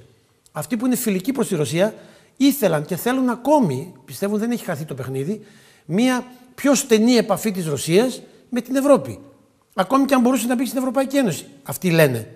Και η άλλη πλευρά, η οποία είναι πιο αγγλισοξενική, λένε όχι. Άρα δηλαδή δίχαζε εξ αρχής η Ρωσία μέσα από τη δύναμη και την ιστορία της, μέσα από την εθνική συνείδηση που έχει, δίχαζε την Ευρώπη Διότι στην Ευρώπη υποβόσκαν πάντοτε αυτές οι δύο τάσεις που σας είπα. Άρα λέτε η Ευρώπη φαίνεται να χάνει το παιχνίδι αυτή τη στιγμή. Ναι, χωρίς να το έχει χάσει τελείως. Η Κίνα; Η Κίνα έχει υποχώρηση αυτή τη στιγμή. Έχει υποχώρηση εκεί που η Κίνα ήταν ο βασικός μοχλός της παγκοσμιοποίησης. Τι εννοώ έχει υποχώρηση; Γιατί μπορεί να βγει κάποιος να πει τι εννοεί, τι, τι υποχώρηση; Μπαίνει σε μια ισοστρέφεια. Μπαίνει σε διαδικασία άμυνας. Όταν μπαίνει σε μια διαδικασία άμυνας, είσαι στη γωνία, φοβούμενη ότι θα μπορέσει να διεισδύσει κάποιος πράκτορας Αμερικάνος με τον ΑΒ τρόπο, είτε από εδώ είτε από εκεί, και όταν μπαίνει σε τέτοια διαδικασία άμυνας, τότε έχεις χάσει τον καλπάζοντα ενθουσιασμό που είχες πριν. Αυτή η πολιτική, η επιθετική που κάνει η Αμερική απέναντι στην Κίνα, όπου δεν επιτρέπει κινέζικα εργοστάσια να πάνε στη, στην Αμερική, όπου δεν επιτρέπει μέχρι ένα ποσοστό 25% νομίζω, αν δεν κάνω λάθος, ε, ε, να υπάρχει κινέζικη συμμετοχή σε μεγάλες διεθνείς εταιρείες. Και τις υποχρεώνει όλες να πάνε στην Αμερική, ώστε να είναι κάτω από τον έλεγχο της Αμερικής. Αυτό όλο κάνει την Κίνα να νιώθει μια απειλή. Και επειδή η Κίνα δεν θα έπρεπε να απειλείται, αλλά απειλείται γιατί έχει έλλειψη δημοκρατίας, γιατί η Κίνα είναι ένα, ας το πούμε, δικτατορικό καθεστώς. Να μην κοροϊδευόμαστε αυτή η πολιτική. Αυτό είναι μια μονοκρατορία είναι. Mm. Ακριβώς εκεί φοβάται μη συμβεί κάτι και κλείνει στον εαυτό της. Επιστρέφει στον εαυτό της σε μεγάλο βαθμό. Δεν σας λέω ότι έχει, έχει γκρεμιστεί η οικονομία της. Και οι Ηνωμένε μιλάω... Πολιτείες που είναι η παγκόσμια υπερδύναμη. Αυτοί έχουν... Βλέπει να αναδύεται ένας άλλος κόσμος και σπέβδει να περιχαρακώσει τα κεκτημένα της; Αυτό πιστεύετε; Προσπαθεί να καθυστερήσει την ανάδυση και δεν της βγαίνει; Ή θεωρεί ότι είναι η υπερδύναμη και δεν τρέχει κάστα. Η Αμερική ουσιαστικά ε, ήταν πολύ ευχαριστημένη όταν έπεσε η Ρωσία γιατί πίστευε ότι θα ήταν ο μόνος πόλος. Ε, κάποια στιγμή όμως είδε ότι η Ρωσία άρχισε να στέκεται καλά στα πόδια της στο ξεκίνημα με τον Πούτιν. Είδε η Κίνα ότι είχε πάρει ένα δυνατό κεφάλι. Είδε την Ευρώπη ένα διάστημα να θέλει να λειτουργήσει με Μιτεράν, με Κολ, με όλους αυτούς Γερμανός να λειτουργεί καλά. Ε, οπότε ξαφνικά τι λέει, Ok, okay, είμαι έτοιμη να αποδεχτώ, άμα διαβάσουμε τα κείμενα της εποχής, έτοιμη να αποδεχτεί την πολυπολικότητα του κόσμου. Με βάση όμως το Ουκρανικό, και επειδή δεν έχουν εγκαταλείψει ποτέ την έννοια μιας απόλυτης κυριαρχίας παγκόσμιας, ο αγγλοσαξονικός άξονας, όταν έγινε αυτό με το Ουκρανία, στρατηγικά έκαναν τις κινήσεις που έπρεπε για αυτούς, για το δικό τους συμφέρον, για να ξαναμπούν μπροστά. Και η Αμερική αυτή τη στιγμή έχει μπει μπροστά στην οικονομία, στις πολιτικές αποφάσεις. Κάποτε οι Ευρωπαίοι είχαν κάποια αντίδραση, θυμάμαι στη Γαλλία, σε κάποιες αποφάσεις, παράδειγμα στο Ιράκ. Mm. Ο Σιράκ με τον ε, Ντομινίκ ντε Βιλπέν, τον Υπουργό Εξωτερικών, είπε: Εμείς δεν συμφωνούμε με την άποψή σας ότι ο Σαντάμ Χουσέιν έχει, έχει χημικά όπλα. Δεν έχει αποδειχθεί. Βγήκε και το πανιστά. Τώρα είναι αδιανόητο κάποιος να τολμήσει να πει στη Γαλλία ή οπουδήποτε αλλού να υψώσει φωνή και να πει κάτι εναντίον της αγγλοσαξονικής πολιτικής. Είναι η απόλυτη κυριαρχία. Έτσι με αυτόν τον τρόπο εξ αντικειμένου η Ευρώπη μετατρέπεται, αν δεν αμυνθεί, σε ουρά, σε μια νέα πολιτεία της Ευρωπαϊκής Ένωσης, μια διαφορετική, της Αμερικής, μια διαφορετική πολιτεία. Πείτε μου λίγο και για την Ελλάδα. Πολλά έχουν συμβεί το τελευταίο ε, διάστημα. Έχω δει ότι αρθρογραφείτε και μιλάτε για την Ελλάδα και το ρόλο της παρέας στην Ελλάδα. Ναι, πιστεύω ότι η, ε, κάποτε μου λέγανε όλοι, όταν ερχόμουν συχνά από την Ελλάδα, από το εξωτερικό στην Ελλάδα, μου λέγανε ότι η δύναμη της Ελλάδας είναι η παρέα. Εγώ θα πω σήμερα εδώ, η καταστροφή της Ελλάδος είναι η παρέα. Και γιατί το λέω αυτό. Γιατί η παρέα σημαίνει, εμείς οι 5-10 φίλοι, θα βάλουμε ταυτόχρονα και τα παρεάκια μας. Είναι της παρέας. Έχω εγώ, δηλαδή, παράδειγμα, να το πω απλά. Έχω εγώ μια θέση ή κάνω εγώ μια έκθεση ζωγραφικής ή κάνω μια, μια συναυλία. Ε, φέρε και το φίλο και ας μην είναι πολύ καλός. Δεν πειράζει. Βάλ τον εκεί. Η παρέα λοιπόν δημιουργεί έλλειμμα αξιοκρατίας. Με αυτή τη λογική το βάζω. Όχι με την έννοια της συντροφικότητας σε επίπεδο ανθρώπινο, γιατί οι παρέες είναι πάντοτε όμορφες, χρήσιμες και ούτω καθεξής. Μιλάω σε επίπεδο εργασιακό και σε επίπεδο αξιών. Όταν λοιπόν οι παρέες γίνεται ο κύριος άξονας εδώ στην Ελλάδα, τότε δεν μπορεί να υπάρξει απόσταση ανάμεσα στο άτομο και στο θεσμό. Ο θεσμός, τι είναι ουσιαστικά ο θεσμός; Είναι ο ανώτερος, θα το λέω φιλοσοφικά τώρα, είναι η προβολή του ανώτερου εαυτού μας, τον οποίο δεν μπορούμε να κάνουμε πράξη. Δηλαδή, εμείς θα θέλαμε να είμαστε άριστοι, σαν παράδειγμα δικαστές, αλλά έχουμε και κάποιες ανθρώπινες αδυναμίες. Τι έχουμε λοιπόν, έχουμε το σύστημα με, το, με την τεχνο, τεχνική νοημοσύνη, η οποία μπορεί να βγάλει αποφάσεις δικαστικές πλέον, όπως το ποδόσφαιρο, με το ΒΑΡ και ούτω καθεξής, όπως την ιατρική. Άρα λοιπόν, αυτό το θεσμικό πλαίσιο μας βοηθάει να έχουμε και ένα αντίλογο απέναντι στην όποια δυναμία μας. Στις παρέες δεν υπάρχει αυτός ο αντίλογος. Άρα; Σου λέει, έλα καημένε τώρα, δεν πειράζει. Βάλε και τον Αποστόλη, βάλε και τη Δήμητρα, γιατί εντάξει, είναι φιλαράκι. Δεν Άρα πειράζει. η πολιτική στην Ελλάδα είναι κυρίως παρέας; Είναι πολιτική της παρέας και σαν παρέα φτιάχνει μια πολιτική όπου όλα είναι συγκεντρωμένα γύρω από κάποια πρόσωπα που διοικούν, με αποτέλεσμα να μην μπορεί να μπει κάποιος εκτός παρέας μέσα σε αυτήν την ομάδα. Κομματοκρατία δηλαδή είναι στη λογική της παρέας. λέτε. Βεβαίως, η παρέα οδηγεί σε μια κομματοκρατία και αυτό ισχύει για όλα τα κόμματα. Όλα τα κόμματα. Περισσότερο ή λιγότερο. Έτσι, μην τα βάλουμε όλα στο ίδιο επίπεδο. Περισσότερο ή λιγότερο. Λειτουργούν με αυτή τη λογική. Γιατί θέλω να έχω εμπιστοσύνη σε αυτούς που βάζω. Το εμπιστοσύνη όμως θα έπρεπε να είναι εμπιστοσύνη ως προς την αξία τους. Όχι εμπιστοσύνη ως προς το να μπορώ να τον ελέγχω, διότι άμα, άμα δεν τον ελέγχω μπορεί να πει κάτι και να μου δημιουργήσει πρόβλημα και να οδηγήσει στην ανατροπή μου. Αυτή η ανασφάλεια Άρα ανασφάλεια. Ε, βέβαια, αυτή η ανασφάλεια ανασφάλεια του, του, του εκα, αρχ- του εκάστο ε, αρχηγού της ε, παρέας. Μάλιστα. Ε, του- ή του αρχηγού της αγέλης. Διότι η παρέα ουσιαστικά τι γίνεται, οδηγείται σε μια αγέλη. Όπου οι όμοι, τι έχουμε, σε μια αγέλη τι έχουμε. Όλοι είναι, ό- όλοι είναι όμοιοι. Άρα δεν μιλάτε καν για αντιπροσωπευτική δημοκρατία. Επικαλούμε πάλι τον Κοντογιώργη. Αυτό δεν είναι καν. Είναι πολύ σωστό αυτό που λέει ο κύριος Κοντογιώργης. Η αντιπροσωπευτική δημοκρατία είναι ένα, ε, πώς να το πω, ένα φάντασμα. Ουσιαστικά είναι ένα εργαλείο της ολιγαρχίας η οποία θέλει να ελέγξει μέσα από αυτό το έμεσο σύστημα να ελέγξει τις, τον κόσμο, τις αποφάσεις και να έχει την εξουσία. Ο κόσμος, εγώ θα σας πω ένα άλλο, από την εμπειρία που είχα πολλές φορές. Θέλει κάποιος να ψηφίσει σε ένα κόμμα. Δεν μιλάμε ονόματα κτλ. Για να μην υπάρξει παρεξήγηση, δεν υπάρχει λόγος. Αλλά αυτό που λέω, όσοι με ακούνε και το έχουν βιώσει, θα με θυμηθούν. Θέλει να ψηφώσει κάποιος σε ένα κόμμα. Λέει, θέλω να ψηφίσω τον κύριο Χ. Πού θα βρω ψηφοδέλτια, πάω σε μια, αφού αυτός ανοίξει το Χ κόμμα, πάω στην, κομμα- στην κομματική οργάνωση και ζητάω ψηφοδέλτια. Λογικά πρέπει να του δώσουν ένα ψηφοδέλτιο λευκό με τα ονόματα των υποψηφίων. Και να βάλει το σταυρό αυτός και μετά να το ρίξει στην κάλπη. Κατά 90%, άντε να βάλω ένα 10% να μην είμαι απόλυτος, γιατί δεν μου αρέσει να είμαι απόλυτος. Μιλάω εμπειρικά εγώ πάντα. Πάντα εμπειρικά και, πα- και με την εμπειρία παρατηρώ. Κατά 90%, 85-90% τα ψηφοδέλτια που παίρνει είναι όλα σταυρωμένα και υπάρχει ένα ελεύθερο στο οποίο μπορεί να βάλει το δικό του. Τι σημαίνει αυτό στην πράξη; Ότι αν εγώ θέλω να ψηφίσω τον κύριο Σαχίνη, θα βάλω μεν Σαχίνη, θα ψηφίσω τον κύριο Σαχίνη, αλλά πριν θα υπάρχουν άλλα τρία-τέσσερα. Της ονόματα παρέας. Αυτά που έχει δώσει εντολή παρέα. Που λέτε. έχει δώσει εντολή η παρέα. Και ο αρχηγός της παρέας. Και με αυτό τι θα γίνει, αυτοί όλοι οι άνθρωποι θα ψηφιστούν. Όταν αυτοί όμως θα πάνε να πάρουν τα δικά τους ψηφοδέλτια, θα είναι μονοκούκι ή αυτοί της παρέας.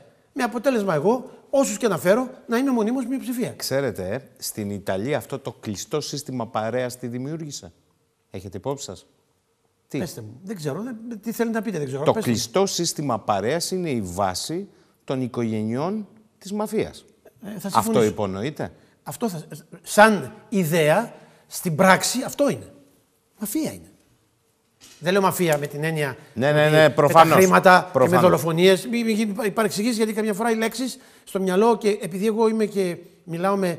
Σκέφτομαι με, με έναν τρόπο λίγο ευρωπαϊκό γιατί ζω στην Ευρώπη. Πολλές φορές αυτά που λέω μπορούν να παρεξηγηθούν. Λοιπόν, όχι με αυτό. Με την έννοια η δομή της μαφίας πού στηρίζεται, στην Αγέλη. Στο κομματικά ή ανθρωπέλ, ανθρωπέλ, οργανωτικά όμεμον. Να χρησιμοποιώ μια λέξη του Ομήρου. Το ίδιο οργανωτικό και κομματικό αίμα. Αυτή είναι η λειτουργία. Δεν θα έπρεπε να είναι έτσι. Θα έπρεπε μετά από τόσα χρόνια πολιτισμού, στον 21ο αιώνα, να έχουμε φτάσει και δεν είναι ουτοπία αυτό που λέω, ούτε ρομαντικό, ούτε. Γιατί αλλιώς, αν δεν υπάρχουν αυτές οι αξίες και ζούμε χωρίς αξίες, τότε να βγω έξω με ένα πιστόλι να σκοτώσω τον Σαχίνη, ο Σαχίνη να σκοτώσει κάποιον άλλο, γιατί εγώ γουστάρω να, να σου πάρω τα λεφτά. Και γιατί έχω τα όπλα και είμαι πιο δυνατός. Εκεί θα φτάσουμε. Ε, άμα είναι να φτάσουμε εκεί, να το ξέρουμε. Αλλά στην πραγματικότητα θα πρέπει να υπάρχουν αξίες. Αν δεν υπάρχουν αξίες και λειτουργούμε μόνο μέσα από τη λογική της αγέλης παρέας, δεν υπάρχει καμία περίπτωση να λειτουργήσει ο θεσμός. Πείτε μου όμως, μπορούν να λειτουργήσουν ακόμη και οι θεσμοί εκτός παρεών όταν εσείς, στο πρώτο μέρος της εκπομπής, αναφερθήκατε στο ρόλο που παίζει πια η οικονομική ισχύς. Αν λοιπόν η οικονομική, η οικονομική ισχύς έχει συγκεντρωθεί στα χέρια ολίγων που διαφετεύουν τα πάντα, δεν διαφεντεύουν και τα πολιτικά συστήματα, δεν υπαγορεύουν και το πώς θα γίνουν οι θεσμικές λειτουργίες. Απολύτως. Άρα; Εκεί βρίσκεται το πρόβλημα. Εδώ πρέπει να βρεθεί ένας τρόπος ώστε αυτή η σχέση να είναι μεν σχέση κέρδους, εφόσον το σύστημά μας είναι έτσι, αλλά να μην ασχολούνται οι ολιγάρχες, οι οικονομικοί ολιγάρχες με την πολιτική, όπως ήταν πριν. Δεν είναι ρομαντικό αυτό που λέω. Μπορεί να προχωρήσει μια κοινωνία μόνο πια με ολιγάρχες; Όχι. Είμαστε σε ένα οριακό πεδίο. Εκεί θέλω να πω. Θέλω να σας ρωτήσω ευθέως. Είπατε ότι αυτή είναι η λογική. Ζούμε στη, στον αιώνα των αγορών και του κέρδους. Ναι. Ωραία. Αυτό όμως σιγά σιγά με την υπερσυσσόρευση στα χέρια πολύ λίγων ανθρώπων σε λίγο θα είναι 2.000-3.000 όλο τον πλανήτη. Μιλάμε για απίστευτο πλούτο. Ναι. Πού θα πάει αυτή η ιστορία; Θα οδηγήσει εκ των πραγμάτων τι λέει η λογική, τι λέει η διαλεκτική. Όταν τραβάς, τραβάς, τραβάς, τραβάς, κάποια στιγμή η άλλη πλευρά, η οποία με το τράβηγμα χάνει, χάνει, χάνει, χάνει, θα αντιδράσει. Και θα πει ρε παιδιά, τι γίνεται; Εσύ θα προσπαθήσεις να σπάσεις αυτό το πράγμα μέσω της τεχνολογίας, αλλά δεν είναι σίγουρος να τα καταφέρεις. Και εγώ πάντοτε αναφέρω ένα παράδειγμα.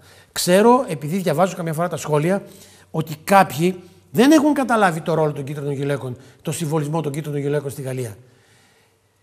Τα κίτρινα γυλαίκα είναι το μοναδικό, γιατί θυμάμαι ότι κάποιος από τους ε, ε, ακροατές είχε πει Μα τα κίτρινα γυλαίκα δεν πέτυχαν, δεν είχαν κάποιον από πάνω τους φορέα.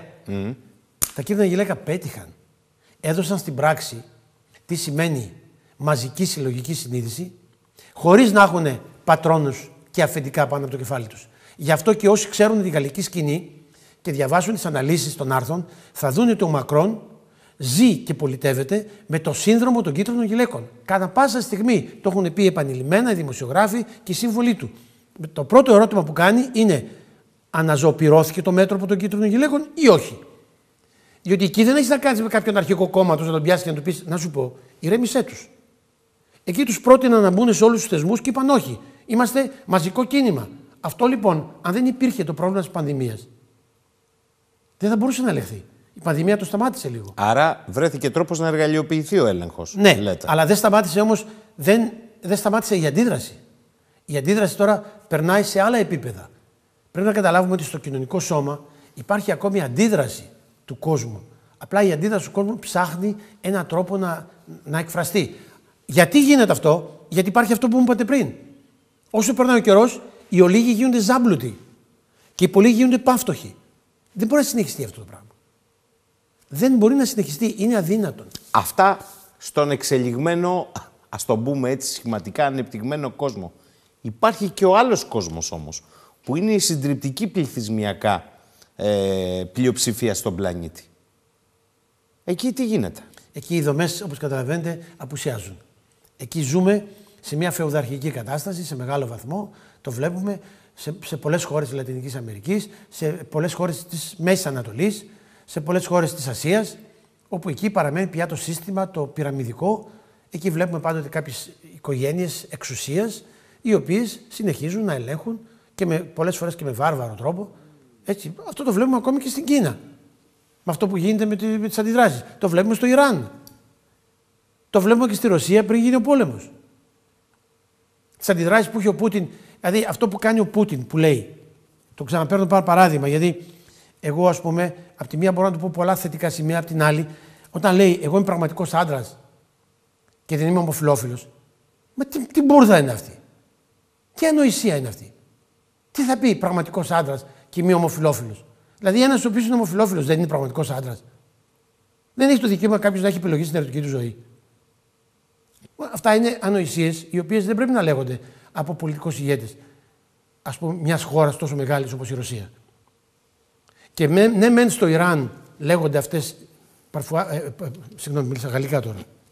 Βλέπετε τι, πώς σκέφτομαι για να καταλάβετε τι, ότι έχω αυτή την αντίδραση. Ε, Ορισμένες φορές στο Ιράν υπάρχει αυτό, τέτοιου είδους κουταμάρες, γιατί υπάρχει θρησκεία. Άρα λοιπόν στις άλλες χώρες έχουμε το εξής πρόβλημα. Αξίες που είναι δεδομένες για μας και για τις οποίες δίνουμε μάχη. Αυτές οι αξίες είναι ουσιαστικά ούτε καν στην παιδική ηλικία στις άλλες χώρες. Οπότε, τι θα γίνει με την παγκοσμιοποίηση; Πού μπορεί να φτάσει η παγκοσμιοποίηση, εκτός αν η παγκοσμιοποίηση οριοποιηθεί μόνο στο θέμα του δυτικού κόσμου. Ναι, αλλά μισό λεπτό τώρα. Επειδή εσείς λέτε ότι αυτός ο τύπος, αυτό το μοντέλο παγκοσμιοποίησης με οικονομικούς όρους ε, πνέει τα λίστια για, για τις ναι. κοινωνίες, βεβαίως μπορεί να βρει τον τρόπο. Σας ρωτώ όμως, πού πάμε; Και πάω σε ένα πεδίο που βλέπω πάρα πολλά ερωτήματα εδώ ήδη να έρχονται από τους τηλεθέατες. Εδώ ακούμε για μετάνθρωπο, για μεταθρησκείες, για metaverse, ε, κοινωνίες οι οποίες δεν, έχουν, δεν χρειάζεται να έχουν ταυτότητα. Δεν χρειάζεται η έννοια έθνος.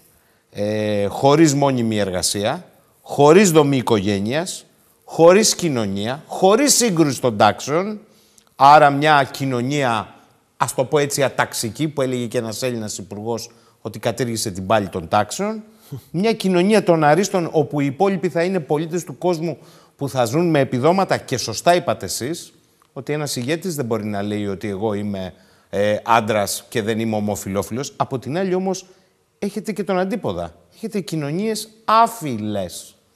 Λοιπόν. Χωρίς φίλο. Ωραία. Εδώ τι, έχουμε... καταναλωτές και τι; Λοιπόν, εδώ έχουμε δύο, δύο, δύο σημεία. Πρώτο σημείο, ότι ζούμε σε μία πτώση των παλιών αξιών. Ζούμε ήδη στην, στο τέλος των παλιών αξιών. Έχουμε ήδη περάσει στο, στη, στο μετά που λέμε έτσι. Δηλαδή, της ιστορίας κτλ. Μιλάω για το δυτικό κόσμο. Γιατί στι άλλες χώρες που ανέφερα, η ιστορία είναι υπερπαρούσα. Μιλάω για τη Δύση, για την απόπειρα που γίνει στη Δύση. Άρα γεωπολιτικά μήπως συγκρούεται και αυτό. Η, η... Υπάρχει σύγκρουση πολιτισμών. Ιστο... Υπάρχει. Υπάρχει σύγκρουση πολιτισμών. Γιατί όταν ένα μοντέλο το οποίο έχει ο Ρώσος ή που έχει ο Κινέζος δεν είναι το μοντέλο που έχει ο Δυτικός, τότε αυτόματα ο κάθε άνθρωπος από τη μεριά του βλέπει τη ζωή και την οικονομία σύμφωνα με το μοντέλο του. Αυτό το οποίο είναι αξία για το Δυτικό, παράδειγμα, στο Δυτικό, άμα πεις, στη Γαλλία, άμα μιλήσεις για τη λέξη πατρίδα, εκτός από κάποιους χώρους, στην κυβέρνηση, αν πεις τη λέξη πατρίδα, σε παίρνουν με τις πέτρες. Αν πεις τη λέξη πατρίδα στην Κίνα ή στη Ρωσία ή στο Ιράν, σε χειροκροτούν. Αυτόματα βλέπουμε δύο διαφορετικές αντιλήψεις. Όμως, αυτό που θέλω να πω είναι το εξής. Ο κόσμος αυτός έχει ένα έλλειμμα. Το έλλειμμα αυτό λέγεται έρωτας. Τι εννοούμε αυτό λέγοντας έρωτας; Ο έρωτας είναι αυτή η έλξη που μπορεί να έχει ο ένας άνθρωπος προς τον άλλον, διότι μέσα από αυτή την έλξη πας να γνωρίσει τον άλλον και στην πραγματικότητα γνωρίζεις και τον εαυτό σου. Όταν κόβεις στην τεχνοζωή, κόβεις τον έρωτα και τον κάνεις, ας πούμε, μόνο οφθαλμοπορνεία, κλειδαρότρυπα, γιατί αυτό πια είναι ο έρωτας. Μια, ένα κλειδαρότρυπα σεξουαλική, τίποτα παραπάνω. Οδηγείς τα παιδιά σε, ένα, σε, μια, σε ένα είδος εκμυδένισης του ερωτικού στοιχείου. Το ερωτικό στοιχείο δεν είναι μόνο το σεξουαλικό. Το ερωτικό στοιχείο έχει και το εσωτερικό, ψυχολογικό. Τα συναισθήματα. Με αποτέλεσμα να έχουμε, να έχω εγώ παιδιά 20 χρονών στο πανεπιστήμιο και να έχω εκπλαγεί. Τώρα βέβαια εκπλήσουμε λιγότερο γιατί κάποτε, κάποια στιγμή μου κάνανε και κριτική και ήταν και αστείο μάλιστα αυτό. Γιατί λέω, λέω σε μια, μια κοπέλα η οποία ήταν μάλιστα και καλή φοιτήτρια, λέω άντε.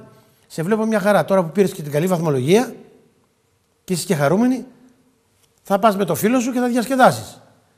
Και μου λέει και ποιος σας είπε ότι έχω φίλο; Εκείνη τη στιγμή δαγκώθηκα και λέω: Συγγνώμη, εννοώ τη φίλη σου. Ποιος σας είπε ότι έχω φίλη; Καλά, μπορεί να μην έχεις κανέναν.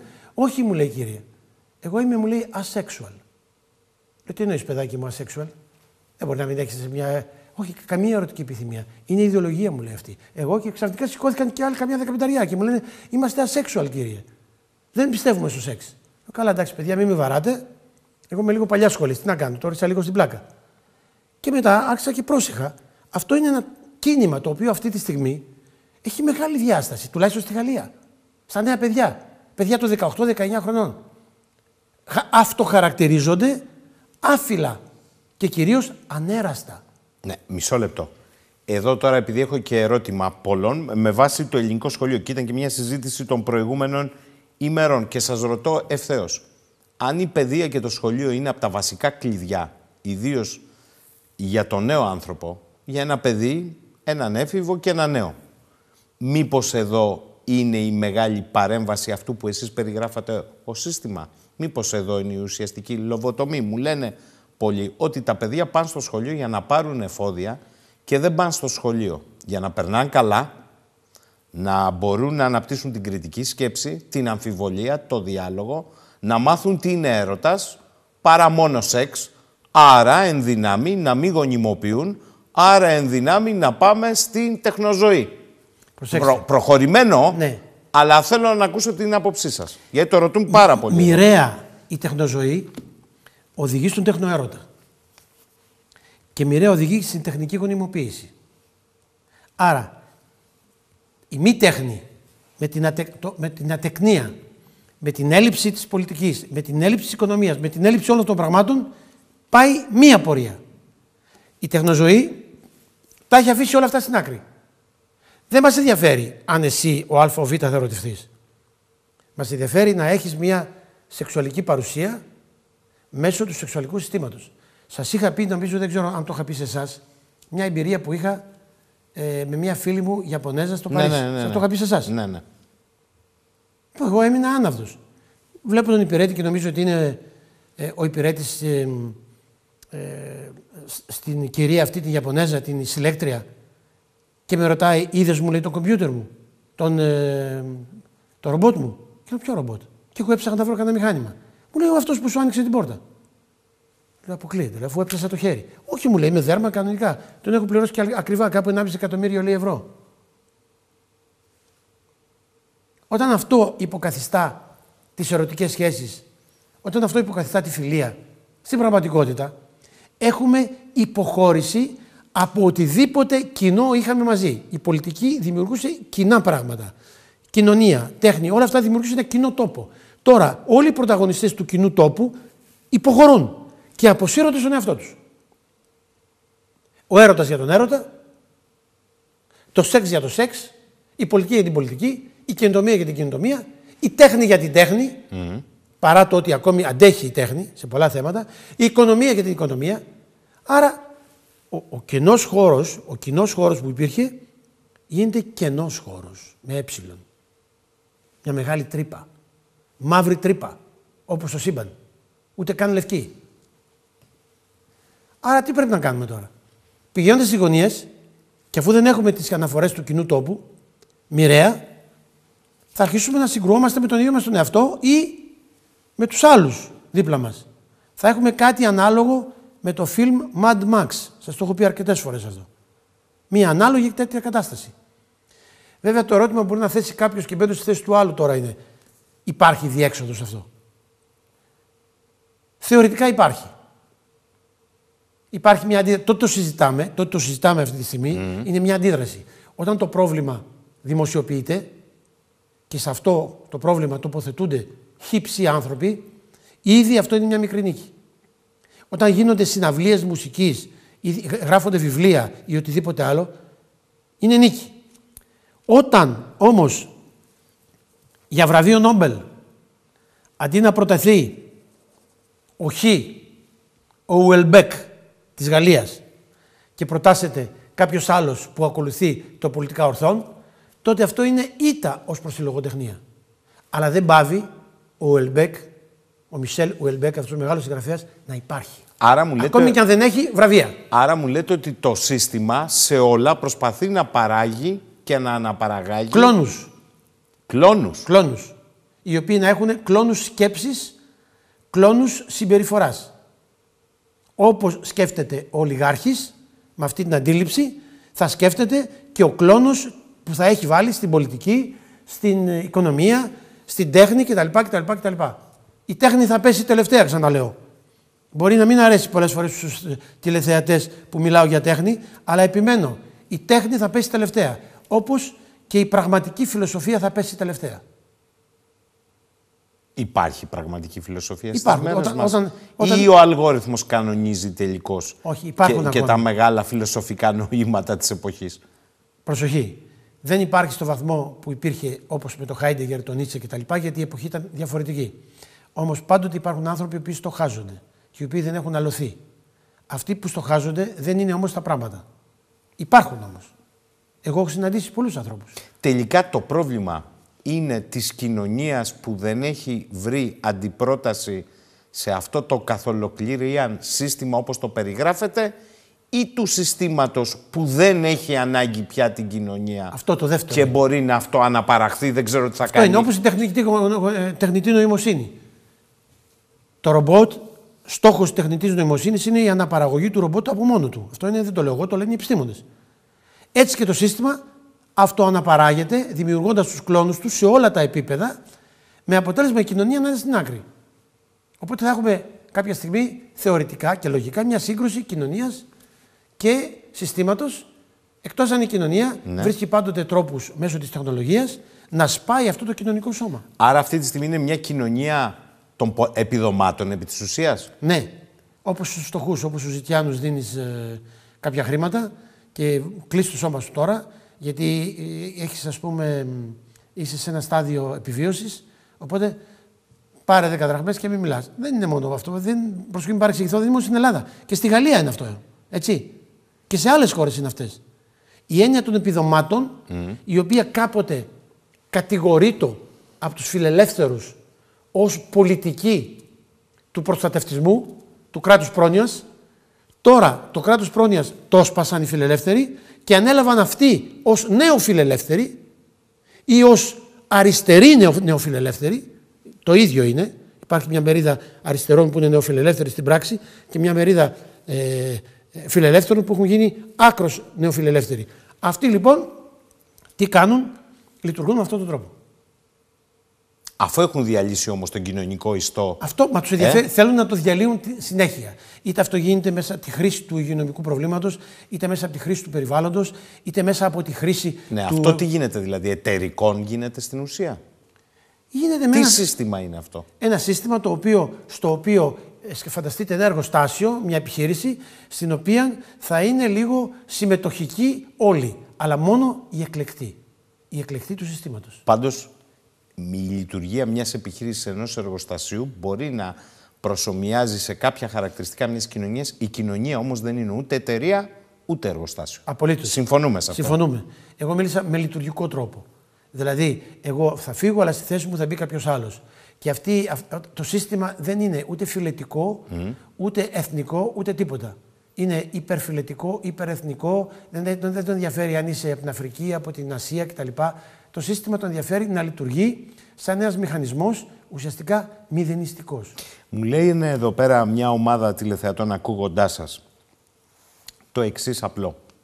Ωραία λέει ε, το παράδειγμα που έφερε ο κύριος Δαβέτας, ο καθένας στο κρεβάτι του έχει τη δική του προτίμηση. Η ιδιορυθμία όπως μου λένε οι άλλοι.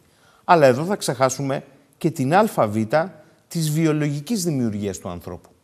Και ένας άνθρωπος για να δημιουργηθεί, από όσο ξέρω εγώ, μου λέει εδώ ο φίλος ο Στέφανος, χρειάζεται την, ενέ- την ένωση δύο αντιθέτων φίλων. Δεν μία αντίρρηση. Βιολογικά, έτσι. Ναι, όσο μένουμε στη βιολογία, βεβαίως αυτό είναι. Και εγώ που έκανα παιδιά, με γυναίκα τα έκανα τα παιδιά. Όμως εδώ, εγώ δεν μίλησα γι' αυτό. Και τον ευχαριστώ τον Στέφανο που έκανε αυτό. Εγώ μίλησα για τις ερωτικές επιλογές. Α, Το ξεκαθαρίζω για να είναι πολύ συγκεκριμένα τα πράγματα. Η ερωτική επιλογή είναι απόφαση του κάθε ανθρώπου. ναι. Όταν αυτό όμως δεν πάβει να υφίσταται ως απόφαση του κάθε ανθρώπου και γίνεται το κοινωνικό στάτους, το political correct, όταν γίνεται το απόλυτο ρεύμα, τότε. Τι σας είπα εγώ πριν από λίγο, πριν στην αρχή, ότι το political... Η συζήτηση δηλαδή γίνεται στη δημόσια σφαίρα για την προσωπική σας ή την προσωπική μου επιλογή στο κρεβάτι, ως αυτό να είναι πια το κοινωνικό επιφαινόμενο, ενώ δεν είναι αυτό. Αυτό σας ρωτώ. Ε, γιατί ακριβώς το πολιτικά ορθόν, το political correct που λέτε, ουσιαστικά χρησιμοποιεί, γίνεται ως μια μορφή ταλιμπανισμού της θεολογίας της παγκοσμίου. Πόσα φύλλα έχουμε σήμερα, ξέρετε; Τι εννοείται, πόσα φύλλα έχουμε; Πόσα φύλλα έχουμε; Ουσιαστικά δύο, κατά με. Αλλά Λέτε το political correct δεν περιγράφει Όχι, δύο. αυτό λέω. Υπάρχει και το ουδέτερο φύλλο. Μόνο.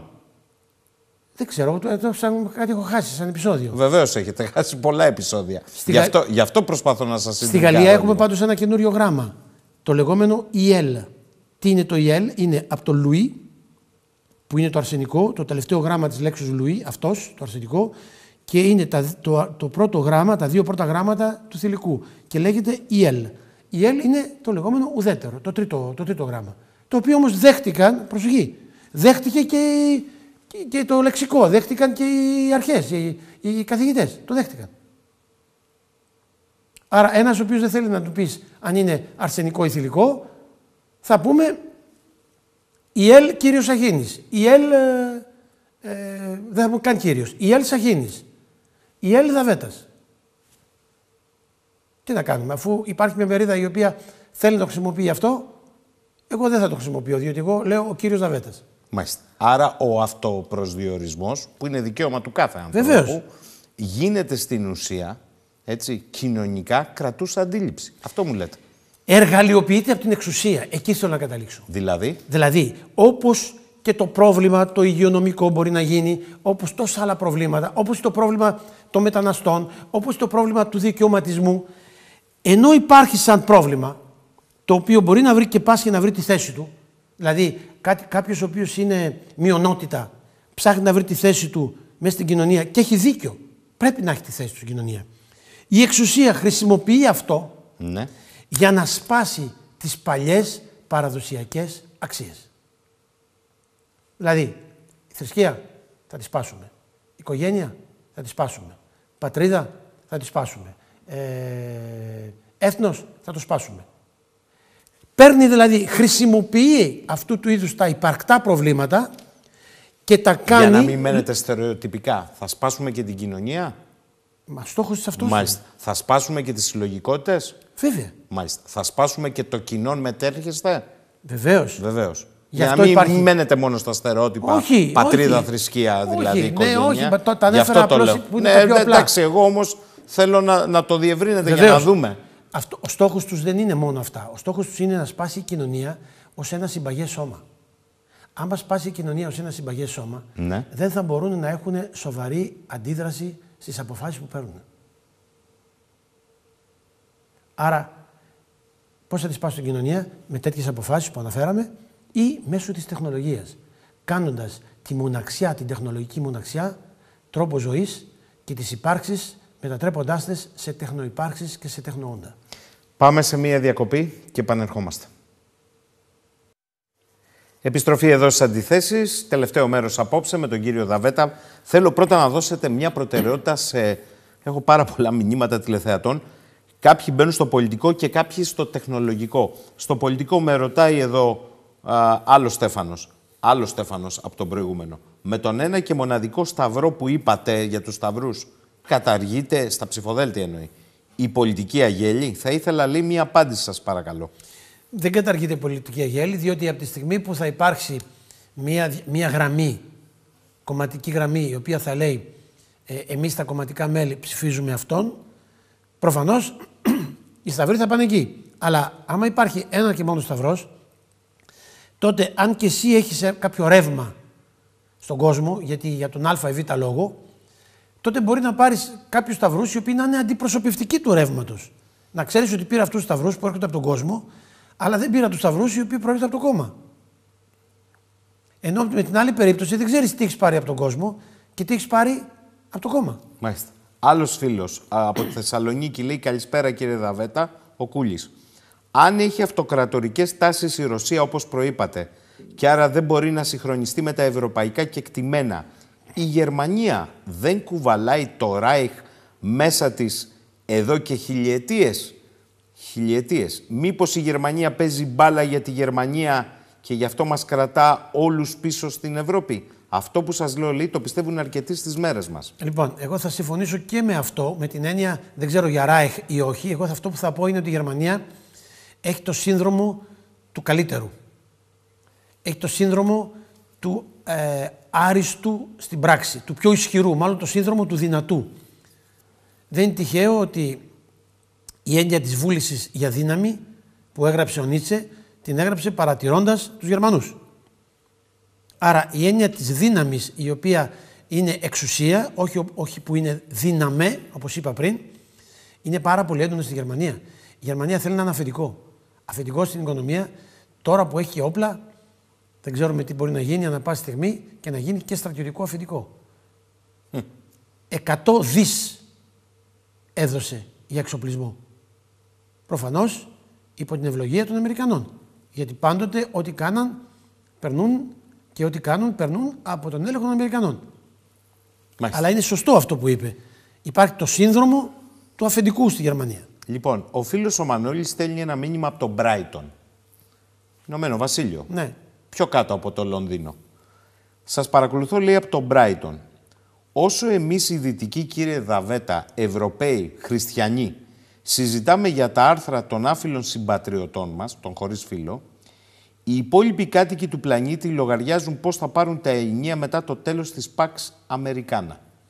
Πώς μπορούμε, αν μπορούμε να αντισταθούμε σε αυτό και να επιβιώσει η παράδοση και η φιλοσοφία της δύσης του Αριστοτέλη, των θρησκειών, που στην ουσία είναι το ένα και το αυτό, ιδίως ο χριστιανισμός, απέναντι σε ρεύματα όπως ο ακραίος Ισλαμισμός που εξαπλώνεται λόγω της υπογεννητικότητας των δικαιωματιστών της δύσης Μήπως οι εχθροί είναι πρώτον πυλών και στον πόλεμο των πολιτισμών και δεν θα αντέξουμε πολύ την πολιορκία; Τα λέω όλα αυτά, λέει, χωρίς καμία διάθεση ρατσισμού ή προκατάληψη απέναντι σε ανθρώπους που κάνουν άλλες επιλογές στο κρεβάτι τους.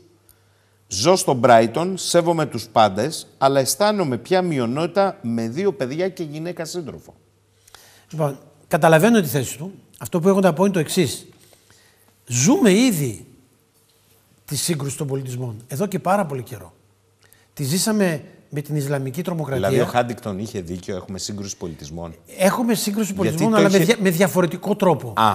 Με διαφορετικό τρόπο. Είναι πολύ πιο σύνθετος αυτός ο πολιτισμό. Ή μήπως βράζουμε όλοι στο ίδιο τσικάλι και έρχεται ο τεχνολογικός κατέχον τον πολιτισμό της τεχνολογίας. Μα εκεί θα, να μας βάζει δηλαδή, να, να τρογόμαστε Δηλαδή, ξε, ξεκινήσαμε από έναν πόλεμο ναι. πολιτισμών Ανατολής-Δύσης. Στην πραγματικότητα, αυτός ο πόλεμος δεν έγινε ποτέ Ανατολή-Δύση. Ε, υπήρξαν κάποιες αψημαχίες. Ο μεγάλος πόλεμος είναι ανάμεσα στην τεχνολογία και στη φύση. Αυτό το οποίο η φύση μας οδηγεί και με βάση τη φύση φτιάξαμε όλο αυτό το δυτικό πολιτισμό. Μην ξεχνάμε αυτό που έλεγε ο Πλάτωνας ο Αριστοτέλης, για να χρησιμοποιήσω τα λόγια του, ότι ουσιαστικά είναι μίμησης πράξεως σπουδαίας και τελείας. Ο πολιτισμός μας ήταν μίμηση της φύσεως. Τώρα έχουμε στην τεχνολογία η οποία είναι μίμηση της τεχνητής φύσεως. Δύο διαφορετικά πράγματα. Άρα ο πόλεμος είναι ανάμεσα στα τεχνοόντα και στα εναπομείνοντα όντα. Είναι πρώτον πυλών. Ναι, θα συμφωνήσω μαζί του. Είναι πρώτον πυλών. Να μην νιώθει όμως μειοψηφία. Ακόμη και αν το σύστημα τον κάνει να νιώθει μειοψηφία. Να έχει το θάρρος της γνώμης του και να μιλάει και ελεύθερα για αυτό που πιστεύει. Ε, στο διάλειμμα φίλος της εκπομπής είπε μήπως είναι ακραίο όλα αυτά να λέμε ότι είναι καθοδηγούμενα από ένα σύστημα; Μήπως είναι ρε παιδί μου η μόδα της εποχής είτε του πώς τρώμε, είτε του πώς δινόμαστε, είτε του πώς συζητάμε. Είναι η μόδα, είναι μια τάση. Και θα φύγει, θα έρθει μια άλλη μόδα, μια άλλη τάση. Ξέρετε ότι έχω γράψει ένα βιβλίο, το πρώτο βιβλίο στην Ελλάδα, Ιστορία της μόδας. Ε, αλλά η μόδα δεν είναι μόνο η ιστορία του ρούχου. Μόδα είναι οτιδήποτε έχει σχέση με την άμεση γρήγορη επικαιρότητα. Έτσι. Η μόδα είναι το σύστημα, μάλλον είναι ένα από τα εργαλεία του συστήματος. Γιατί ουσιαστικά τι σκοπεύει; Στο να υπάρξει κατανάλωση, να υπάρχει δημιουργία χρηματικών ε, αγορών. Άρα η μόδα είναι μια δεκαετία, η μόδα είναι μια πενταετία. Ουσιαστικά τι κάνουμε, υιοθετούμε το οικονομικό σύστημα του Σούμπετερ, μάλλον το ερμηνεύουμε κατά το δικό μας τρόπο, ο οποίος Σούμπετερ τι έλεγε, μιλούσε για τη δημιουργική καταστροφή. Δηλαδή ότι θα καταστρέφουμε όλα αυτά τα οποία καινοτομικά βρίσκουμε, ώστε να έχουμε καινούργια πράγματα. Με αυτόν τον τρόπο έχουμε την κατανάλωση. Υπάρχουν καταναλωτές, υπάρχει προσφορά και ζήτηση, υπάρχει οικονομία, υπάρχουν χρήματα που διακινούνται. Άρα... Κοιτάξτε, θέλω να σας πάω σε ένα πεδίο και ξαναπάω στο, γιατί βλέπω ότι τα περί τεχνοζωής έχουν εξαιρετικό ενδιαφέρον απόψε.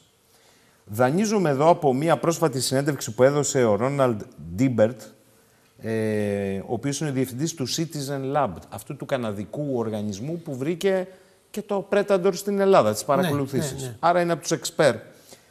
Λέει λοιπόν ο Ντίμπερτ ότι είμαστε ζώα, οι άνθρωποι πια, για φάρμες δεδομένων.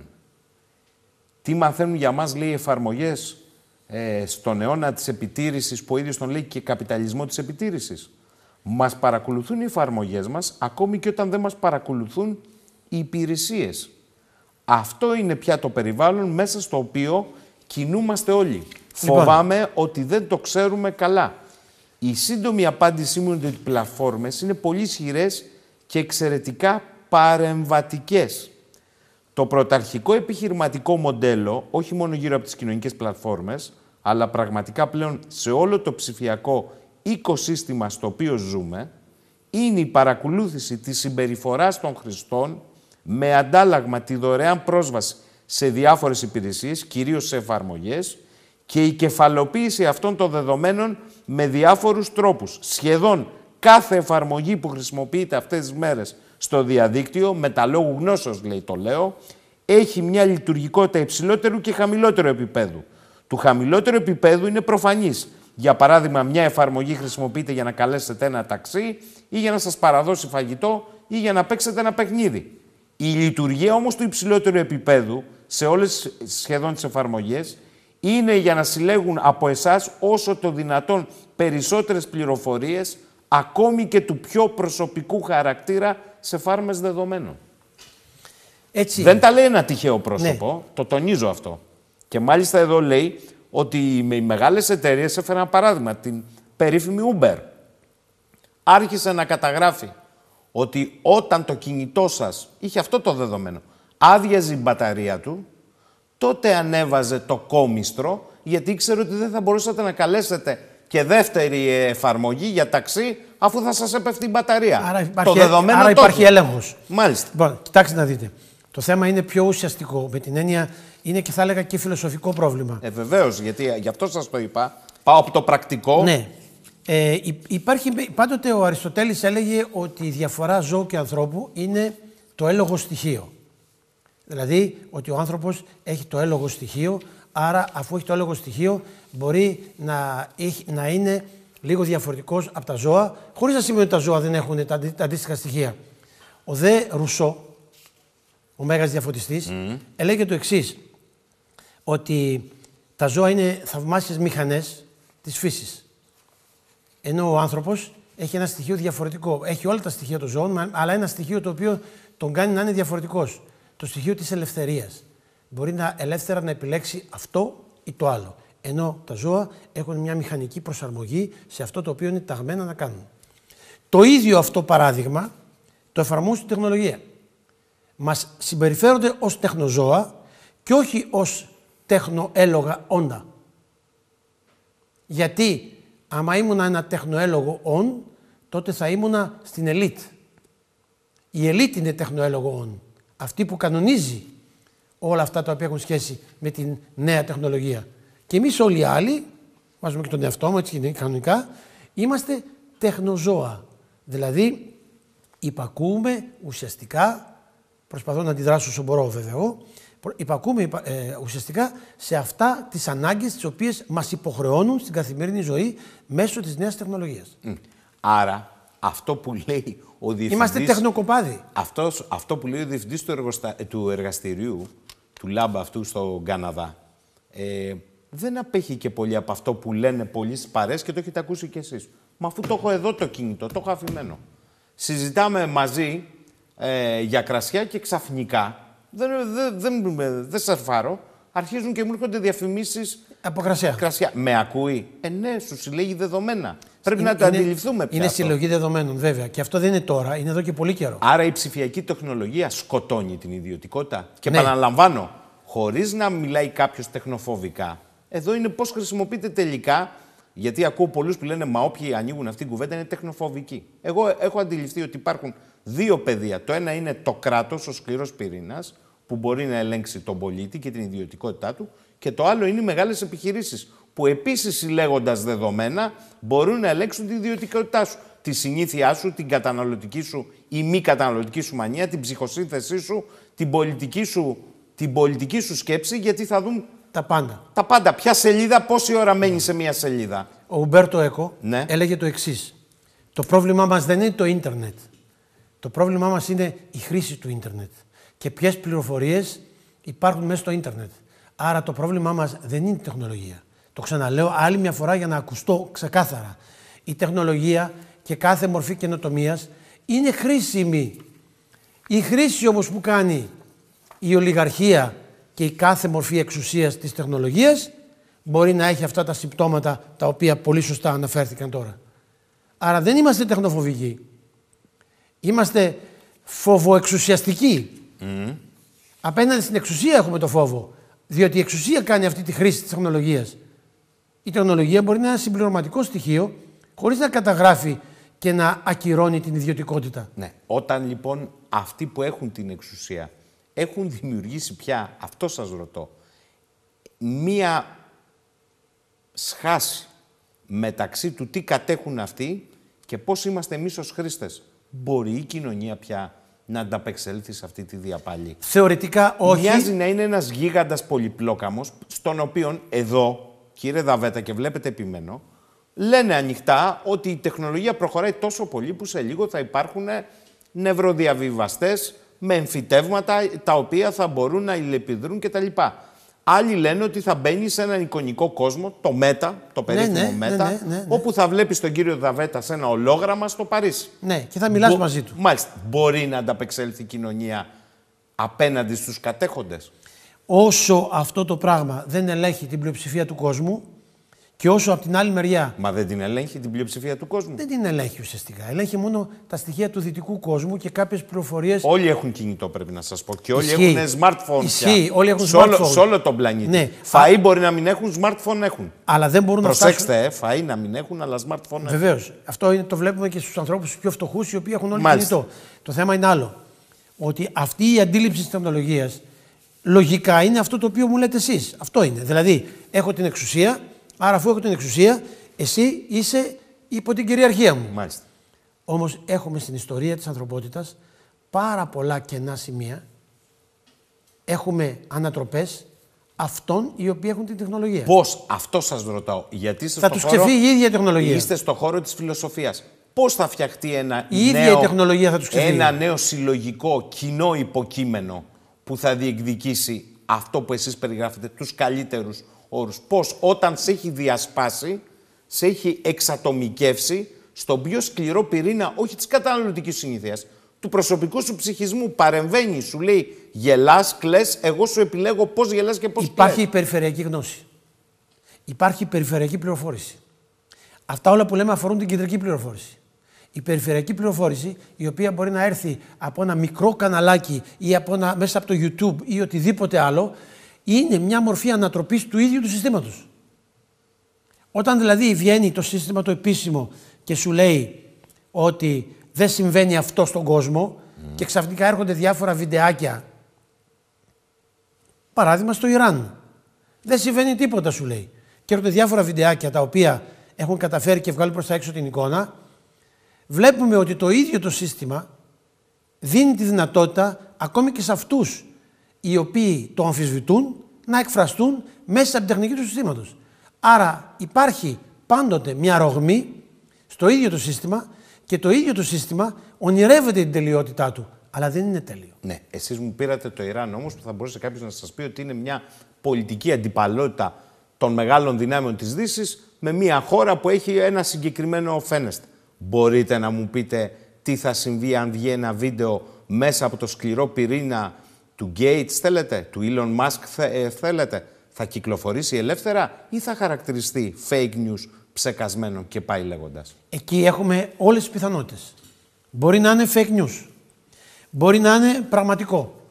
Μπορεί να είναι ε, προβοκατόρικο, επίτηδες. Δεν θα το μάθετε ποτέ λοιπόν, γιατί είναι τέτοια η δύναμή τους να, να κάνουν την πραγματικότητα ακόμη ότι είναι και fake. Ναι, όμως αν δούμε. Και ότι... να την αποκλείσουν από την πλατφόρμα αν που δούμε θα ότι κυνηγάνε στο αυτόν... κινητό σας, κύριε Δαβέτα, άρα ναι. να μην μπορείτε να έχετε πρόσβαση. Αν δούμε όμως ότι τον κυνηγούν αυτόν. Ναι.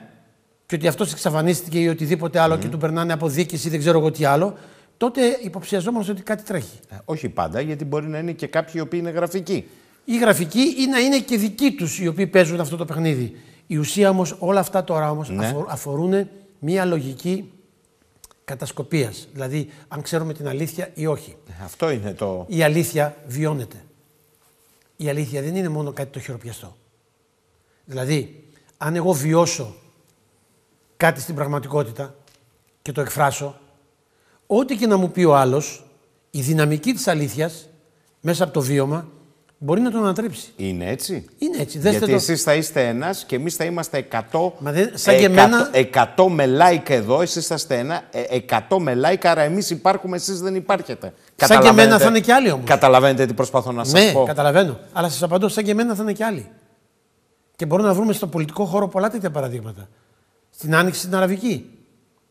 Που πήγαν να κάνουν με έναν πλάγιο τρόπο την δίθεν Αραβική άνοιξη. Και αποδείχθηκε ότι δεν υπάρχει αραβική άνοιξη, διότι ο κόσμος δεν είχε ακολουθήσει όλα αυτά τα πράγματα.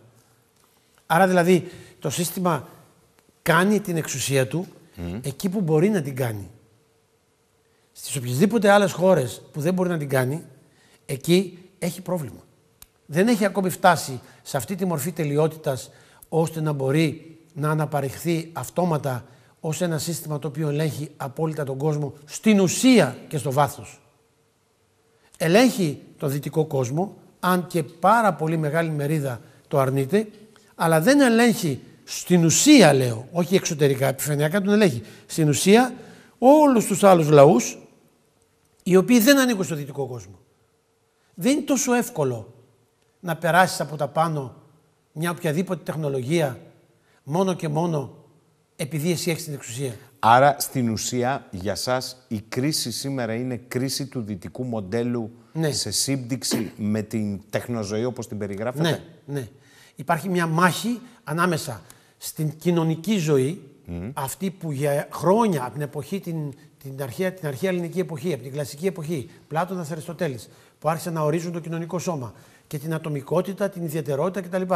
Μέχρι σήμερα έχουμε, έχουμε φτάσει σήμερα σε ένα, μια φοβερή μάχη ανάμεσα στη νέα τεχνολογία, η οποία είναι μια μιμητική διαδικασία της φύσης και ανάμεσα σε κάποια άλλα στοιχεία τα οποία ακολουθούν την παραδοσιακή λογική της φύσης, τη βιολογική λογική. Αυτή η μάχη δεν έχει τελειώσει ακόμη. Μπορεί εμείς να λέμε ότι υπάρχει το μετά, το α, το β κτλ. Να το διαπιστώνουμε σε επίπεδο εξουσίας, αλλά άμα κατέβουμε στη βάση του κόσμου, θα δούμε ότι ο κόσμος μουρμουρίζει και αντιδρά με τον ΑΒ τρόπο. Παραμένει απροσάρμοστος. Όσο και αν είναι αφηρημένο για κάποιους που είναι ορθολογιστές αυτό που λέω και θα σου πει Ναι, αλλά ο κόσμος θα πει κόσμος. Ε, συγκεκριμένες δυνάμεις. Οι αντιδράσεις δεν έρχονται από συγκεκριμένες δυνάμεις. Ξαναείπα για τα κίτρινα γυλαίκα. Είναι μια αντίδραση η οποία έρχεται τη στιγμή σαν έκρηξη. Όπως η γη εκρήγνεται κάποια στιγμή που δεν το ξέρει κανένας. Άρα και έχει σεισμό. Το πραγματικό ζήτημα ταυτότητας για τον πολίτη στην κοινωνία που βιώνει ο καθένας είναι ποιο; Για σας. Είναι να μπορέσει να ξέρει τον εαυτό του σε σχέση με την τεχνοζωή. Να ξέρει ότι αυτό ανήκει στην τεχνοζωή και ότι υπάρχει και μια άλλη ζωή από δίπλα και να μπορέσει να βρει τη σχέση την ισορροπημένη ανάμεσα στη βιολογική ζωή και στην τεχνοζωή. Θέλω να δείξω δύο εξώφυλλα από τις τελευταίες σας εκδοτικές ε, δουλειές. Το ένα είναι οι διάλογοι και το άλλο είναι το πορτρέτο ενός τρομοκράτη. Οι διάλογοι, το έχουμε καταλάβει, είναι με όλους τους μεγάλους της τέχνης που συμπορευθήκατε. Ναι, είναι ο Άντι Γουόρχολ, η Μαρίνα Αμπράμοβιτ, Μπέικον, είναι όλοι αυτοί οι μεγάλοι με τους οποίους συνεργάστηκα Μάλιστα. επί 30 εγώ, χρόνια. Εγώ θέλω να έρθω όμως στο άλλο, στο πορτρέτο ενός τρομοκράτη. Ποιος είναι ο τρομοκράτης τελικά στις μέρες μας; Λοιπόν, το βιβλίο αυτό για να καταλάβω έτσι απλά να καταλάβει ο κόσμος, γράφτηκε πριν 20 χρόνια. Όταν πριν 20 χρόνια ζούσα στη Γαλλία αυτή την φοβερή μανία που είχε το σύστημα εναντίον της τρομοκρατίας. Δηλαδή, κάθε τι το οποίο ήταν ύποπτο τρομοκρατίας ή νόμιζε ότι ήταν ύποπτο τρομοκρατίας το σύστημα, η κυβέρνηση, το θεωρούσε ότι αυτό ήταν ο δαίμονας. Η ιστορία λοιπόν είναι κάποιος άνθρωπος συγγραφέας, ζωγράφος, αθλητής, πολιτικός, κάποιος που κάνει πολλά πράγματα και είναι στο 2030. Το έγραψα πριν 20 χρόνια με προοπτική το 2030. Και τι συμβαίνει; Υπάρχει ένας γενικός νόμος όπου λόγω της τρομοκρατίας όλα έχουν σταματήσει. Κάθε άνθρωπος θα πρέπει να δίνει λόγο σε ένα σύμβουλο, όπως, θα, έχει- όπως είναι στην τεχνοζωή, απέναντι σε κάποιο συγκεκριμένο που σε ελέγχει. Αυτός ο σύμβουλος θα εξετάζει όχι αυτά που έχεις κάνει. Αυτό είναι το ένα σημείο. Θα εξετάζει πώς σκέφτεσαι. Και αφού σκέφτεσαι με τον αλφα τρόπο, άρα είσαι εν δυνάμει τρομοκράτης. Και γι' αυτό το λόγο θα πας και θα εγκλειστείς κάπου επαγγελματικά σε ένα χώρο, στον οποίο εμείς θα αποφασίσουμε και θα είσαι κάτω από έλεγχο.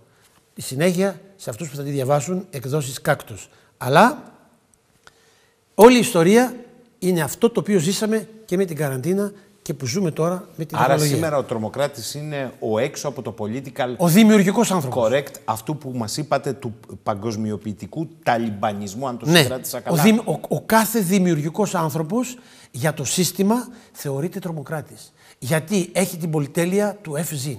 Έχει την πολυτέλεια του να αποφασίζει ο ίδιος και όχι να υπακούει σαν ένα φοβισμένο σκυλάκι στις διαταγές και στις ξυλιές του αφεντικού του. Πείτε μου και κάτι τελευταίο, μιας και Εκδόσεις κάκτος. πλησιάσαμε. Το λέω για, για να Ναι, ακούει ναι, ο ναι. κόσμος. Μιας και πλησιάσαμε στο τέλος της εκπομπής και μέρες που είναι, ούτως υπήν, αν γεννιόταν ο Χριστός μεθαύριο, είχε θέμα στην πορεία προς τη Σταύρωση, γιατί για να φτάσει στη Σταύρωση το ανατρεπτικό είναι η αγάπη στο δικό του Ναι. κήρυγμα. Είναι το απόλυτο και το καταλυτικό. Θα είχε θέμα; Θα είχε θέμα διότι θα έβλεπε ότι γύρω μας ε, η αγάπη, η οποία είναι η πιο ανατρεπτική δύναμη. Η αγάπη είναι η μεγαλύτερη επανάσταση η οποία ε, μπορεί να ανατρέψει τα πάντα. Πολιτική, ε, οικονομία, τα πάντα. Βέβαια κάποιος θα μου πει, μα τι μας λες τώρα, ποια αγάπη; Αγαπάω ο Γιώργος τη, τη Γεωργία ή ο Γιώργος ε, τον Μιχάλη κτλ. κτλ. Η αγάπη είναι ένα concept. Να μπορούμε να είμαστε ο εαυτός μας και ταυτόχρονα να είμαστε πέρα από τον εαυτό μας. Να μπορούμε όταν υπάρχουν οι αντιθέσεις ανάμεσα στον εγωισμό, να μπορούμε να σκεφτούμε και να μπούμε στη θέση του άλλου. Όταν μπορούμε να σκεφτόμαστε τον εαυτό μας και στις θέσεις του άλλου, μπορούμε να κάνουμε καλύτερη οικονομική διαχείριση, καλύτερη πολιτική διαχείριση, καλύτερη τεχνική διαχείριση και ούτω καθεξής. Η αγάπη λοιπόν είναι μία δύναμη η οποία ακόμη είναι αχρησιμοποιητή. Είναι τε- το- το- το- η τελευταία βόμβα δημιουργίας που μπορεί να υπάρξει στο σύγχρονο κόσμο. Χωρίς αγάπη δεν πάμε πουθενά. Με αγάπη μπορούμε ακόμη και τους τεχνοανθρώπους να τους κάνουμε φίλους μας. Διότι στο, στο μέλλον τι μπορεί να, να οδηγήσει η αγάπη; Αντί να υπάρχει πόλεμος ανάμεσα στο τεχνοόν και στο βιολογικό όν, να μπορέσουν και οι δύο να πάνε χέρι-χέρι και να βλέπουμε στο μέλλον μια εκπληκτική περίπτωση όπου ένα τεχνοόν να ερωτεύεται ένα βιολογικό άνθρωπο και το αντίθετο. Να τραγουδούν μαζί, να κάνουν συναυλίες, να κάνουν εκθέσεις. Να μπορούν λοιπόν να συνεπάρξουν. Αυτός ο συνδετικός κρίκος που ενώνει τα πιο αντίθετα στρατόπεδα λέγεται αγάπη. Σε όλα τα επίπεδα ζωής. Θέλω να σας ευχαριστήσω κύριε Δαβέτα για την παρουσία σας απόψε. Να σας ευχηθώ καλά Χριστούγεννα. Και εγώ το ίδιο σε εσάς και στους ε, ε, θεατές μας να ευχηθώ σε όλους πρώτα απ' όλα υγεία και να δώσω μια μεγάλη αγκαλιά για τους αδύνατους, για τους ανθρώπους που είναι μοναχικοί. Οι άνθρωποι που είναι μοναχικοί περνάνε δύσκολες στιγμές αυτό τον καιρό. οι αδύναμοι, οι μη προνομιούχοι και δεν είναι μόνο οικονομικά. Όλοι αυτοί που βρίσκονται στο, στο περιθώριο της ζωής και της αγάπης. Μια μεγάλη αγκαλιά σε αυτούς και τους εύχομαι καλά Χριστούγεννα. Θέλω να σας ευχαριστήσω φίλες και φίλοι, ιδίως για τη βροχή των μηνυμάτων και μιας και το υπενόησες σήμερα ο συνομιλητής, ας κλείσουμε με Κώστα Ξελό. Είχαμε την τύχη να τον συναντήσουμε εμείς τότε 27 ετών, εκείνος ένας μεγάλος καταξιωμένος ε, φιλόσοφος, εδώ σε μια συνέντευξη ε, στην Crete TV. Διαλέγουμε λοιπόν από τον Κώστα Ξελό για επίλογο απόψε «Ο θάνατος και η αγάπη για τη ζωή». Ένας Κινέζος μανδαρίνος πρότεινε κάποτε στον κυβερνήτη μιας επαρχίας ένα μέτρο που δεν άργησε να υιοθετηθεί, λέει ο Αξελός. Την ώρα που το θύμα ακουμπούσε το κεφάλι στο κούτσουρο για να μπορέσει ο Δήμιος να το αποκόψει, έφτανε, καλπάζοντας, αυτό ήταν το τέχνασμα, ένας πλουμισμένος υπέας και φώναζε «Σταματήστε, ο άρχοντας έδωσε χάρη στον καταδικασμένο». Εκείνη ακριβώς τη στιγμή της υπέρτατης εφορίας, ο Δήμιος έκοβε το κεφάλι του ευτυχισμένου θνητού. Καλό βράδυ, καλά Χριστούγεννα.